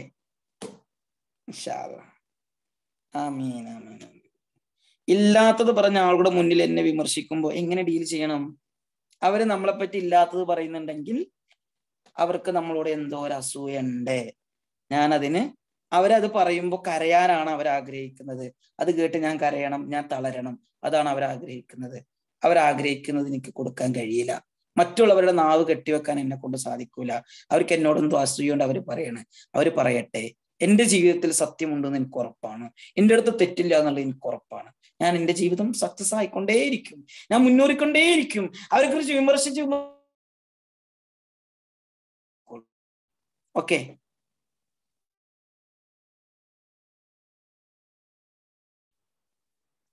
ആസ്വദിക്കാൻ അറിയുമെങ്കിൽ ഏറ്റവും നല്ലത് ഒറ്റപ്പെടലാണെന്ന് ഒറ്റപ്പെടുക എന്ന് പറഞ്ഞ സത്യത്തിൽ കൂട്ടുകാരന്മാരുടെ വർത്താനം പറയണം അയൽവാസിയുടെ വർത്താനം പറയണം വൃദ്ധസദനത്തിക്കൊക്കെ ഇടക്കിടക്ക് ഒന്ന് പോയോക്കണം മെഡിക്കൽ കോളേജിലേക്കൊക്കെ ഇടക്കിടക്ക് പോയോക്കണം. ഒരുപാട് അനുഭവങ്ങൾ ഇങ്ങനെ ഉണ്ടാക്കുക തന്നെ. അപ്പുറത്തെ വീട്ടിൽ പോയി വർത്താനം പറയാം അവരെ സങ്കടങ്ങളൊക്കെ കേൾക്കുക. അപ്പൊ നമുക്ക് തോന്നും അയ്യോ ഞാൻ എത്രയോ വലിയ ഭാഗ്യവതിയാണ്. ഒറ്റയ്ക്കിരിക്കാത്തതിനേക്കാളും നല്ലത് എല്ലാവരെയും മനസ്സിലാക്കലാണ്. നെക്സ്റ്റ് ഒരുപാട് അനുഭവങ്ങൾ ഉണ്ടാക്കാം നമുക്ക്. ആരാലും സ്നേഹിക്ക ആരാലും സ്നേഹിക്കപ്പെടാതിരിക്കുമ്പോ നമ്മൾ ഒന്നും പ്രതീക്ഷിക്കരുത് ദുനിയാവുന്ന ഇന്ന ഇന്ന ആൾ സ്നേഹിക്കണം. അങ്ങനെ കരുതുമ്പോഴല്ലേ സ്നേഹം കിട്ടാണ്ടാവുമ്പോ ഉണ്ടാവും പ്രശ്നം ഉണ്ടാവുന്നത്? ശരിയല്ലേ? ഞാൻ ഒന്നും പ്രതീക്ഷിക്കണ്ട. ഞാൻ എന്റെ ഉമ്മിന്റെ സ്നേഹിക്കണം എന്ന് ഞാൻ പ്രതീക്ഷിക്കുമ്പോഴാണ് അത് കിട്ടാണ്ടാവും എനിക്ക് സങ്കടം ഉണ്ടാവണം ശരിയല്ലേ? നമ്മൾ നമ്മളെ ലൈഫ് ഫോക്കസ് ചെയ്ത് നമുക്ക് നേടാൻ കഴിയുന്ന പരമാവധി അങ്ങോട്ട് നേട്. നമ്മൾ സ്നേഹിക്കുന്നവർ നമ്മൾ സ്നേഹിക്കട്ടെ. സ്നേഹം എരന്ന് പോയി വാങ്ങാനൊന്നും പറ്റൂല. ശരിയല്ലേ? അത് തരുന്നവര് തരട്ടടോ. നമ്മൾ ലൈഫ് അങ്ങോട്ട് നീങ്ങ്. നമ്മൾ സ്നേഹിക്കണവരെ നമ്മൾ സ്നേഹിച്ചാൽ മതി. എന്തിനാ കുറെ ആൾക്കാരേക്കും സ്നേഹം കിട്ടിയിട്ട് നമുക്ക് എന്തെങ്കിലും ഉപകാരം ഉണ്ടോ? ശരിയല്ലേ? ഞാനൊരു. സംശയം ചോദിച്ചോട്ടെ? ചോദിച്ചോ. ഓക്കെ എന്റെ അടുത്ത് വന്ന ഒരു കൗൺസിലിങ്ങിനെ കുറിച്ചാണ് സാറിന്റെ അടുത്ത് എനിക്ക് ചോദിക്കാനുള്ളത്. അവർ വിവാഹിതയാണ്. ഒരു കുട്ടിയുടെ ഉമ്മയാണ്. പക്ഷെ അവരുടെ ഒരു സൗഹൃദം അറിയാതെ പ്രണയത്തിലേക്ക് ആയിപ്പോയി ഉം. ഇപ്പൊ അവർക്കത് രണ്ടുപേർക്കും മറക്കാൻ പറ്റുന്നില്ല. അവർ വിളിക്കാറോ മെസ്സേജ് അയക്കാറോ ഒന്നുമില്ല. പക്ഷെ അവരുടെ മനസ്സിൽ ഇപ്പോഴും രണ്ടാളുടെ മനസ്സിൽ ഇപ്പോഴും എന്താണ് രണ്ട് വ്യക്തികളും നന്നായിട്ടുണ്ട്. ഒരു പക്ഷേ ചെറിയൊരു ചെറിയൊരു തിരുത്തി ഞാൻ ചോദിക്കട്ടെ. രണ്ടാളുടെയും മനസ്സിലുണ്ട് എന്ന് എങ്ങനെ ഇവൾക്ക് മനസ്സിലായി? കോണ്ടാക്ട് ഒന്നും ഇല്ലാതെ. ഒന്നുകിൽ അവളെ ചിന്തയാണ്. ശരിയല്ലേ? ആണെങ്കിൽ അത് മാറ്റാൻ പറയുക. പിന്നെ മറ്റുള്ള ഒരു കാര്യം നമ്മൾ നോക്കേണ്ട ആവശ്യം. അവിഹിതം ഒരുപാട് പ്രശ്നം ഉണ്ടാക്കുന്നുണ്ട്. അവിഹിതം എന്താ? എന്താ? വിവാഹത്തിൽ നിന്ന് എതിരായത്. അതേ തെറ്റാണ്. ശരിയല്ലേ? ഇനി ആ സങ്കടത്തിൽ നിന്ന് മാറാൻ എന്ത് ചെയ്യണം? അത് ഇനി ഒറ്റപ്പെട്ടിരിക്കാതെ അത് അത് മറക്കാൻ വേണ്ടി ചിന്തിക്കണ്ട എന്ന് പറയാം അവളോട്. ഒരുപാട് കാര്യങ്ങൾ ചെയ്യാൻ പറയാ. ജീവിതത്തിൽ എന്താണ് അവൾക്ക് ഏറ്റവും ഇഷ്ടമുള്ള പരിപാടി എന്താണെന്ന് ചോദിക്കുക. ആദ്യം അവളെ സങ്കടങ്ങൾ മുഴുവൻ കേൾക്കുക. എന്നിട്ട് അവളെ തെറ്റ് അവൾക്ക് മനസ്സിലാക്കി കൊടുക്കുക. നിന്റെ കുടുംബമുണ്ട് നിന്റെ ഭർത്താവുണ്ട് മറ്റുള്ളവർക്ക് സ്നേഹം കൊടുക്കുമ്പോൾ സ്വാഭാവികമായിട്ടും ഇവിടെ കൊടുക്കുന്നതിൽ ആസ്വാദനങ്ങൾ കുറയും. അതൊക്കെ മനസ്സിലാക്കി കൊടുക്കുക. അത് മറക്കാൻ വേണ്ടി ശ്രമിക്കണ്ട എന്ന് പറയാ ഒരുപാട് പ്രവർത്തനങ്ങൾ ഇങ്ങനെ ചെയ്തുകൊണ്ടേ ഇരിക്കാൻ പറയാ സ്വാഭാവികമായിട്ടും മനുഷ്യനാണ് മറക്കും. ഓക്കെ സർ അതെനിക്ക് മനസ്സിലായത്. രണ്ടാളായിട്ട് ഞാൻ കോണ്ടാക്ട് ചെയ്തിരുന്നു. അപ്പൊ രണ്ടാളെ സംസാരത്തിലും മറ്റെന്തിനേക്കാളും കൂടുതൽ വന്നത് ഇവർ രണ്ട് അങ്ങോട്ടും ഇങ്ങോട്ടുള്ള പേരുകളാണ്. ഈ രണ്ടാളെ കോണ്ടാക്ട് നിന്ന് മനസ്സിലാക്കിയത് ഒരു പ്രണയത്തിന്റെ കേസിൽ. ഇവ ഒന്ന് മനസ്സിലാക്കിയത് ഇവളോട് പറയരുത്. ഇവളേക്ക് ഒന്ന് മനസ്സിലാക്കിയത് പറഞ്ഞിട്ടില്ല സർ. പരമാവധി സംസാരിക്കുക. മനസ്സിലായി? നമുക്ക് ഇവരെ തമ്മിൽ ശത്രുത ഉണ്ടാക്കലാണ് ആവശ്യം. ശരിയല്ലേ ഓക്കെ സർ. നമ്മൾ ഇവളോട് പറയാ "ആ, മൂപ്പരാക്ക് അത്ര സ്നേഹമൊന്നുമില്ല. മറ്റാർക്ക് ഓക്കെ കൊടുക്കുക. അയ്യവ പിന്നെ ഇത് പറയാം ഇക്ക് നിന്ന് മനസ്സിലായി കുറെ വഞ്ചനയടി ശരീരത്തിനോടുള്ള സ്നേഹം അങ്ങനെ അങ്ങനെ അങ്ങനെ നമ്മൾ പറഞ്ഞിട്ടുണ്ട്. നെക്സ്റ്റ് ഹലോ സർ ആ പറയൂ. എന്റെ അടുത്തൊരു കേസ് വന്നിരുന്നു. ആ ഞാൻ ആദ്യം ഒരു കാര്യം പറയാം. ചോദ്യങ്ങൾ എല്ലാതും നിങ്ങൾ ഒരൊറ്റ ചോദ്യത്തിൽ പിന്നെ ഒരാൾ ചോദിക്കരുത് കേട്ടോ ഈ ഒരൊറ്റ എല്ലാരും നോട്ട് ചെയ്ത് വെച്ചോളിയും ഒരാൾക്ക് ഒരു ചോദ്യം ചോദിക്കാൻ അവസരമുള്ളൂ. ഒരു ചോദ്യത്തിൽ പതിനഞ്ച് ചോദ്യങ്ങൾ വരെ നിങ്ങൾക്ക് ചോദിക്കാം. ഓക്കെ ഇപ്പൊ ഫർസാനിന്റെ അവസരമാണ് ഇൻഷാല്ല ചോദിച്ചോ? അപ്പൊ ചോദിക്കാം. അപ്പൊ നന്നാൽ പറഞ്ഞാൽ പിന്നെ രണ്ടാളും രണ്ട് ഒരു സ്ത്രീ ഒരു പുരുഷനും. അപ്പൊ ഇവർ പിന്നെ ചെറിയ കുട്ടികളായിരുന്നു. അപ്പം ഇവരെന്താക്കി? ഒരു സെക്ഷൽ റിലേഷൻഷിപ്പിൽ ബന്ധപ്പെട്ടു. ഏ? ശേഷം എന്താക്കിന്ന് പറഞ്ഞാൽ ഈ മെയിൽ പേഴ്സൺ ഗൾഫ് പോയി. അതിനിടയിൽ ഫീമെയിൽ പേഴ്സണ് പിന്നെ വീണ്ടും സെക്ഷൽ ആയിട്ടുള്ള തോന്നി വരാം. അവർ വേറൊരു കല്യാണാലോചന വന്ന് അങ്ങനെ കല്യാണം കഴിഞ്ഞു.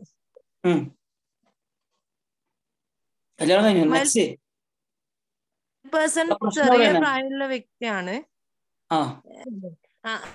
അപ്പൊ എന്താക്കി? മറ്റേ ഇവർ കല്യാണം കഴിഞ്ഞ് പോയി അപ്പൊ ഇപ്പം ഈ ചെക്കന് ഇത് മറക്കാൻ പറ്റുന്നില്ല. ഈ ചെക്കനാണ് വേറെ മംഗലയിക്കാൻ അതും സാധിക്കുന്നില്ല. ഓക്കെ. ഇനി ഫർസാനക്ക് വേറെ ചോദ്യം ഉണ്ടോ? എല്ലാ ചോദ്യം ചോദിക്കോട്ടോ. ഒരു ചോദ്യം ഞാൻ അവിടെ നോട്ട് ചെയ്തു. Next okay. ഇതിന് ഉത്തരം ഞാൻ പറയട്ടെ. ഇങ്ങനെ അനുഭവിക്കുന്ന ആരെങ്കിലും ഉണ്ട് അവർക്ക് എല്ലാവർക്കും ഉത്തരങ്ങൾ കിട്ടിക്കോട്ടെ. എന്റെ ഒരു കൂട്ടുകാരൻ മരിച്ചു. കൂട്ടാ ഞാൻ അത്രക്കും സ്നേഹിക്കുന്ന എന്റെ ഒരു കൂട്ടുകാരൻ മരണപ്പെട്ടു. എനിക്ക് കൂട്ടുകാരനെ അല്ല എനിക്ക് മറക്കേണ്ടത്. എന്താണ് മറക്കേണ്ടത്? ആ എന്താണ് എന്നെ ഓർമ്മപ്പെടുത്തുക ഇപ്പൊ ഹൈദരലി ശാവതങ്ങൾ മരിച്ചു. ഹൈദരലി ശാവതങ്ങൾ പറഞ്ഞ ആളല്ല എന്നെ സങ്കടപ്പെടുത്തിയത്. ഹൈദരലി തങ്ങൾ എനിക്ക് തന്ന ഒരുപാട് നല്ല അനുഭവങ്ങൾ ഉണ്ട് അതാണ് എന്നെ ഇങ്ങനെ ഓർമ്മപ്പെടുത്തുന്നത്. സോണോ ശരിയല്ലേ? അതേപോലെ എന്റെ ഒരു കൂട്ടുകാരൻ മരണപ്പെട്ടാൽ എന്റെ കൂട്ടുകാരനല്ല. കൂട്ടുകാരൻ മരിച്ചോണ്ടല്ല എനിക്ക് സങ്കടം. ആ കൂട്ടുകാരൻ എന്റെ കൂടെ യാത്ര ചെയ്ത സുന്ദരമായ ഓർമ്മകൾ. അവൻ എനിക്ക് സമ്മാനിച്ച ഒരുപാട് സുന്ദരമായ നിമിഷങ്ങൾ. ഇതാണ് എന്നെ സങ്കടപ്പെടുത്തുന്നത്. യെസോണോ ശരിയല്ലേ? അവനെ ബോധ്യപ്പെടുത്തുക നിന്നെ സങ്കടപ്പെടുത്തുന്നത് എന്താണ്? അവളിൽ നിന്ന് കിട്ടിയ ഒരുപാട് ഫീലിങ്സുകളാണ് അവൾ പോയതുകൊണ്ടല്ല നിനക്ക് സങ്കടം? ഈ ഫീലിങ്സുകൾ നഷ്ടപ്പെട്ടത് കൊണ്ടാണെന്നുള്ളത് ബോധ്യപ്പെടുത്തുക. ഈ ഫീലിങ്സ് നിനക്ക് കിട്ടണമെങ്കിൽ ഇനി ഒരു വഴിയേ ഉള്ളൂ. ആ വഴി എന്താണ്? വേറൊരു കല്യാണം കഴിക്കുക.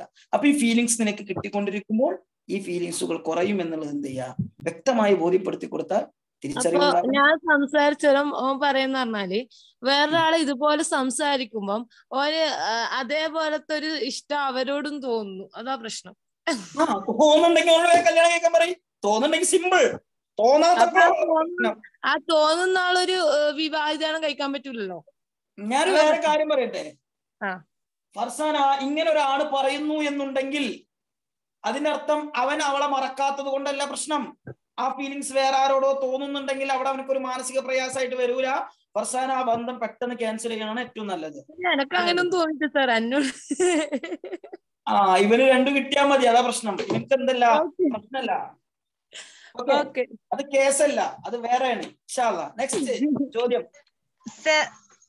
സർ എനിക്ക് തന്നെയാണ് ചോദിക്കാനുള്ളത്. എന്റെ പേഴ്സണൽ കാര്യമാണ് സർ. ഓക്കെ ഞാൻ എന്താ പറയാ ഒരിക്കലും ഉമ്മയാവില്ല എന്ന് ഡോക്ടർ വിധി എഴുതിയ ഒരാളാണ് മാഷാല്ല അലഹമില്ല എനിക്കിപ്പോ നാല് വയസ്സുള്ള. അപ്പം എന്റെ അനിയന്റെ ഭാര്യ. പ്രഗ്നന്റ് ആയപ്പോ അനിയന്റെ ഭാര്യയുടെ ഉമ്മ ഞാൻ കേൾക്കെ പറഞ്ഞിരുന്നു. ഞാൻ മച്ചിയാണെന്ന്. അപ്പോ അവരിപ്പൊ കാണുമ്പോഴും എനിക്ക് അവരോട് മനസ്സ് ചിരിക്കും ഞാൻ. പക്ഷെ മനസ്സ് തുറന്ന് എനിക്ക് ചിരിക്കാൻ പറ്റുന്നില്ല. അവരുടെ സംസാരിക്കാൻ പറ്റില്ല ഒരു ഗ്ലാസ് വെള്ളം എടുത്തു കൊടുക്കാൻ പറ്റില്ല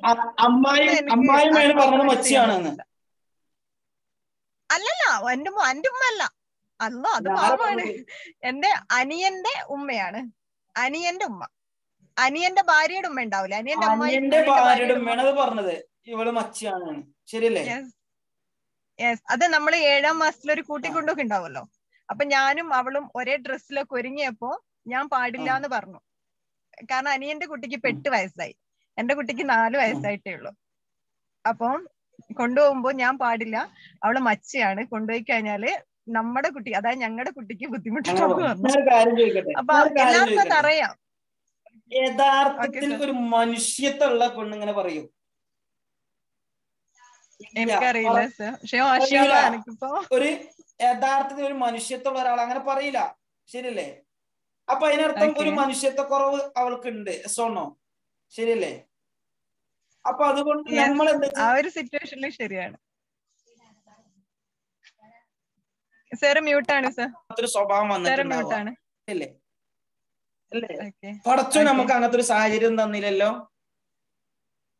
അലഹമില്ല അവർക്ക് അങ്ങനത്തെ ഒരു ഒരു മാന്യത ഇല്ലാത്ത സംസാരം സംസാരി സംസാരിച്ചത് അവരുടെ സാഹചര്യം ഒരു മാന്യതയില്ലാത്ത ചില സംസാരങ്ങൾ കേൾക്കുന്നവർക്ക് വളർന്നുകൊണ്ടാണ്? അപ്പൊ നമ്മൾ എന്ത് ചെയ്യാ? അവരോട് ഇനി വെറുക്കണ്ട. പഠിച്ചോനെ പടച്ചോനെ അലഹമില്ല എനിക്ക് പടച്ചോൻ എന്താന്നല്ലോ? അങ്ങനത്തെ ഒരു സാഹചര്യം എനിക്ക് തന്നില്ലല്ലോ. ശരിയല്ലേ? അവരുടെ മനസ്സിന്റെ അവസ്ഥ. എന്ത് ഇരുള്ള കാരം ശരിയല്ലേ? ഞാൻ കൊറേ ശ്രമിച്ചു നോക്കി. എന്നിട്ട് ഇപ്പൊ നാല് വർഷം കഴിഞ്ഞിട്ടും എനിക്കത് എന്താ പറയാ? ഞാൻ വിഷ്വലൈസേഷൻ നടത്തി നോക്കി ഹംത് ചെയ്ത് നോക്കി. എന്താ പറയാ കണ്ണടച്ചിരുന്നിട്ട് അവരോട് പറയാനുള്ളത് അത്രയും ഞാൻ പറഞ്ഞു നോക്കി. എന്നിട്ടും എന്റെ മോളെ കാണുമ്പോഴൊക്കെ എനിക്ക് അത് എന്റെ മൈൻഡിലേക്ക് ഇങ്ങനെ വരാ. എന്റെ മോളെ തന്നെ അവർ എനിക്ക് എനിക്ക് ഇഷ്ടാവുന്നില്ല. അലഹമില്ല മറുപടി അവർ കൊടുത്തു എന്തർത്ഥം? കാണാൻ അഴകുള്ള എന്റെ ഫാമിലിയിൽ തന്നെ എനിക്ക് അഹങ്കാരത്തോടെ പറയാം അത്രയും. ഭംഗിയുള്ള ഒരു മോളെ കാര്യം ചെയ്യട്ടെ? ഞാനൊരു കാര്യം ചെയ്യട്ടെ? Okay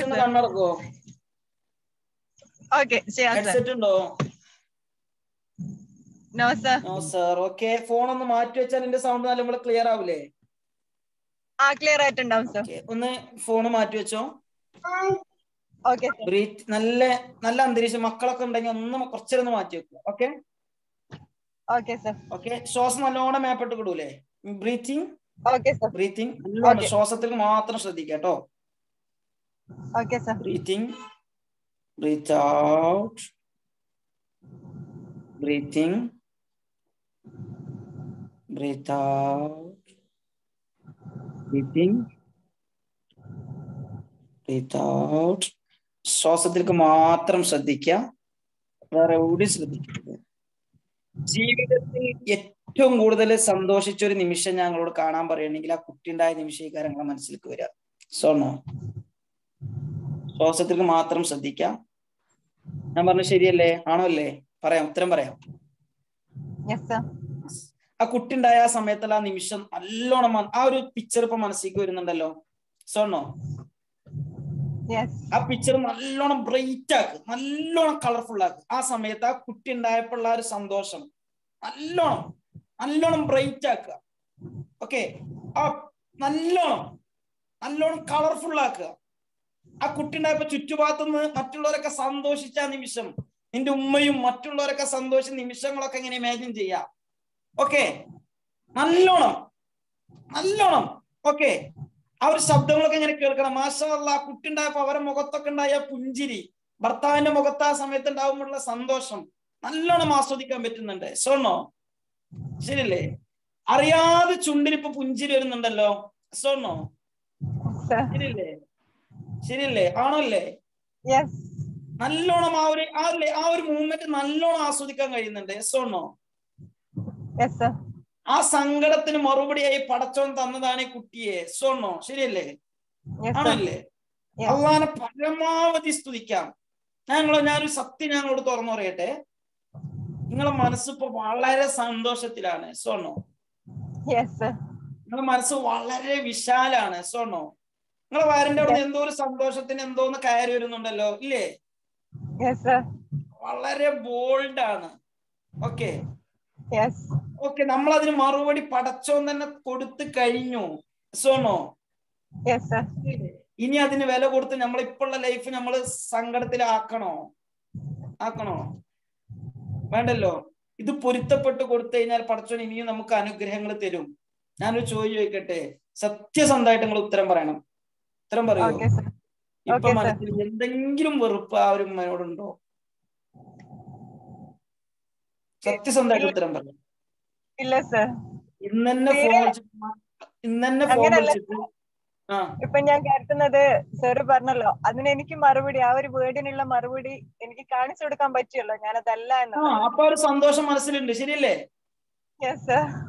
കൊടുത്തു കഴിഞ്ഞാൽ പിന്നെ അത് ആലോചിക്കേണ്ട ആവശ്യമുണ്ടോ? ഇല്ല. ഇനി ആ ഉമ്മനെ കാണുമ്പോ സന്തോഷത്തോടെ കൂടെ നോക്കണം. ആ ഉമ്മ ചിലപ്പോ അങ്ങനെ പറഞ്ഞതുകൊണ്ട് ആയിരിക്കും പഠിച്ചോന്ന് എനിക്ക് കുട്ടിനെ തന്നിട്ടുണ്ടാവുക. സോണോ അപ്പൊ ഉമ്മാനോട് തുടിക്കല്ലേ വേണ്ടത്? ചിലപ്പോ ഉമ്മ അങ്ങനെ പറഞ്ഞില്ലായിരുന്നെങ്കിൽ നിനക്ക് ചിലപ്പോ ഈ കുട്ടിയെ ചിലപ്പോ പഠിച്ചൊന്നും തരില്ലായിരുന്നു.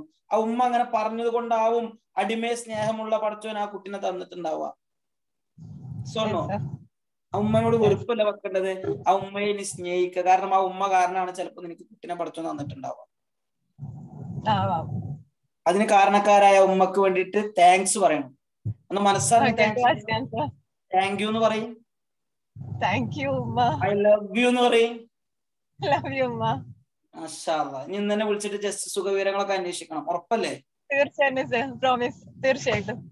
ആ ഉമ്മാനെ കാരണമായിരിക്കും ചിലപ്പോ എനിക്ക് കുട്ടീനെ തന്നിട്ടുണ്ടാവും കേട്ടോ. ഓക്കെ സർ ഹാപ്പി ആയോ?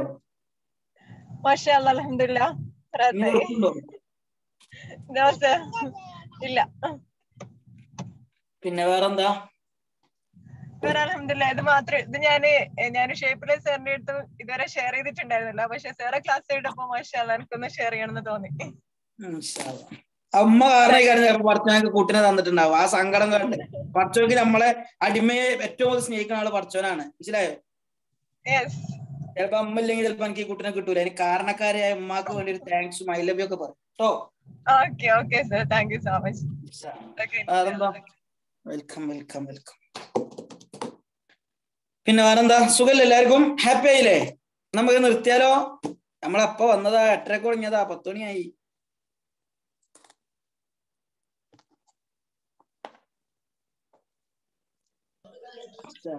നിർത്തല്ലേ? എല്ലാരും എന്ത് ചെയ്യാ? ക്ലാസ്സിനെ പറ്റിയുള്ള അഭിപ്രായങ്ങളൊക്കെ എന്ത് ചെയ്യാ? ഗ്രൂപ്പിൽ പറയാ. പറയാനുണ്ട് സാറേ. ഹലോ? എന്താണ്? അത് എന്റെ ഹസ്ബൻഡിന്റെ ഉമ്മ എന്ന് പറയുമ്പോ അവർ പിന്നെ ചെറുപ്പത്തിൽ കല്യാണം കഴിഞ്ഞ് പതിനാലാം വയസ്സിൽ പതിനഞ്ചാം വയസ്സിൽ കല്യാണം കഴിഞ്ഞ് പിന്നെ ഇരുപത്തിയൊന്നാം വയസ്സിൽ ഭർത്താവ് മരണപ്പെട്ടു. അതിൽ നാല് കുട്ടികളുണ്ട്. അപ്പൊ ചെറുപ്പത്തിൽ ഭർത്താവ് മരിച്ചതാ. പിന്നെ പിന്നെ കുട്ടികൾ നല്ല രീതിയിൽ പോറ്റി വളർത്തുകയൊക്കെ ചെയ്തു. പിന്നെ. ഇപ്പം എന്റെ കല്യാണം കഴിഞ്ഞിട്ട് ഇപ്പൊ അഞ്ചു വർഷമായി എനിക്കിപ്പോ ചില സമയങ്ങളിൽ പിന്നെ അവരുടെ ആ ഒരു ഇത് പിന്നെ ചിന്തിച്ചിട്ട് ഞാൻ ചില സമയത്ത് എനിക്ക് വല്ലാത്തൊരു പേടി പോലെ എനിക്കും അങ്ങനത്തെ ഒരു അവസ്ഥ വരുമോ ആരും ഒരാൾ ഇതിന് ചോദിച്ചിട്ടുണ്ട് അങ്ങനത്തെ ഒരു ക്വസ്റ്റ്യന്. മനസ്സിലായില്ല. എന്റെ അമ്മായിമ്മ.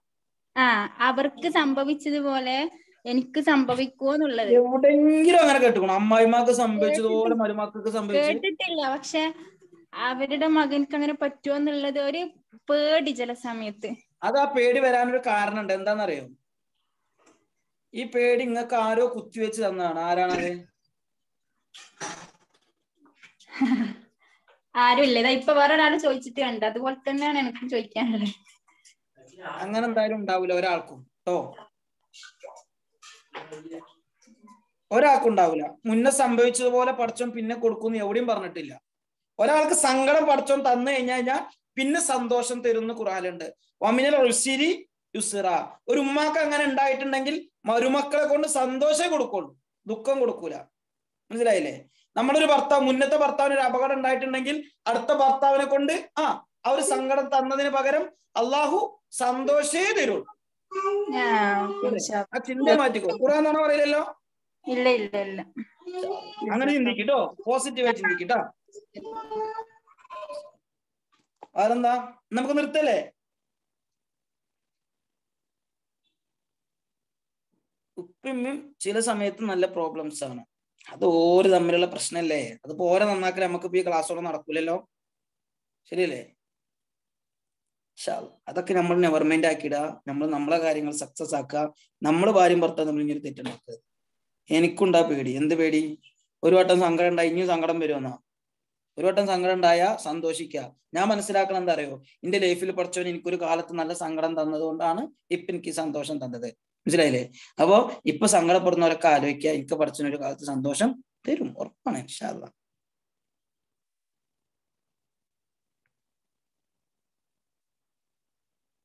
ഞങ്ങൾ ഒന്നാം ബാച്ചുകാരെ മറക്കരുത്. ഞാൻ ആരും മറക്കണില്ലേ? നിങ്ങൾ ആ ഷെറീനാക്കൊക്കെ ഇടക്കിടക്കൊക്കെ നിന്നെ വിളിച്ചൂടെ. ഞാൻ കരഞ്ഞിട്ട് പതിനഞ്ച് വർഷമായി. കരയാൻ എന്തെങ്കിലും മാർഗമുണ്ടോ ഇവിടെ കുറെ കാര്യം ചിരിക്കാൻ വേണ്ടിയിട്ട് തോടുമ്പോ അതിൽ അള്ളാഹാനെ സ്തുതിക്ക്. ഈ ചിരിയപ്പോൾ അള്ളാഹു തല നിലനിർത്തി തരട്ടെ. എന്റെ അമ്മായിമ്മ സാർ എനിക്ക് നെക്സ്റ്റ് മന്ത് എക്സാം ആണ്. ജനുവരി ഫസ്റ്റ് അതാ പോയി. മാഷാ അല്ലാ ഒരു കാര്യം ചോദിക്കാണ്ടായിരുന്നു സാറിനോട് ചോദിച്ചോളൂ. വിസ്മയ റെക്കോർഡ് വേണമെങ്കിൽ ഇനി ഓഫാക്കാം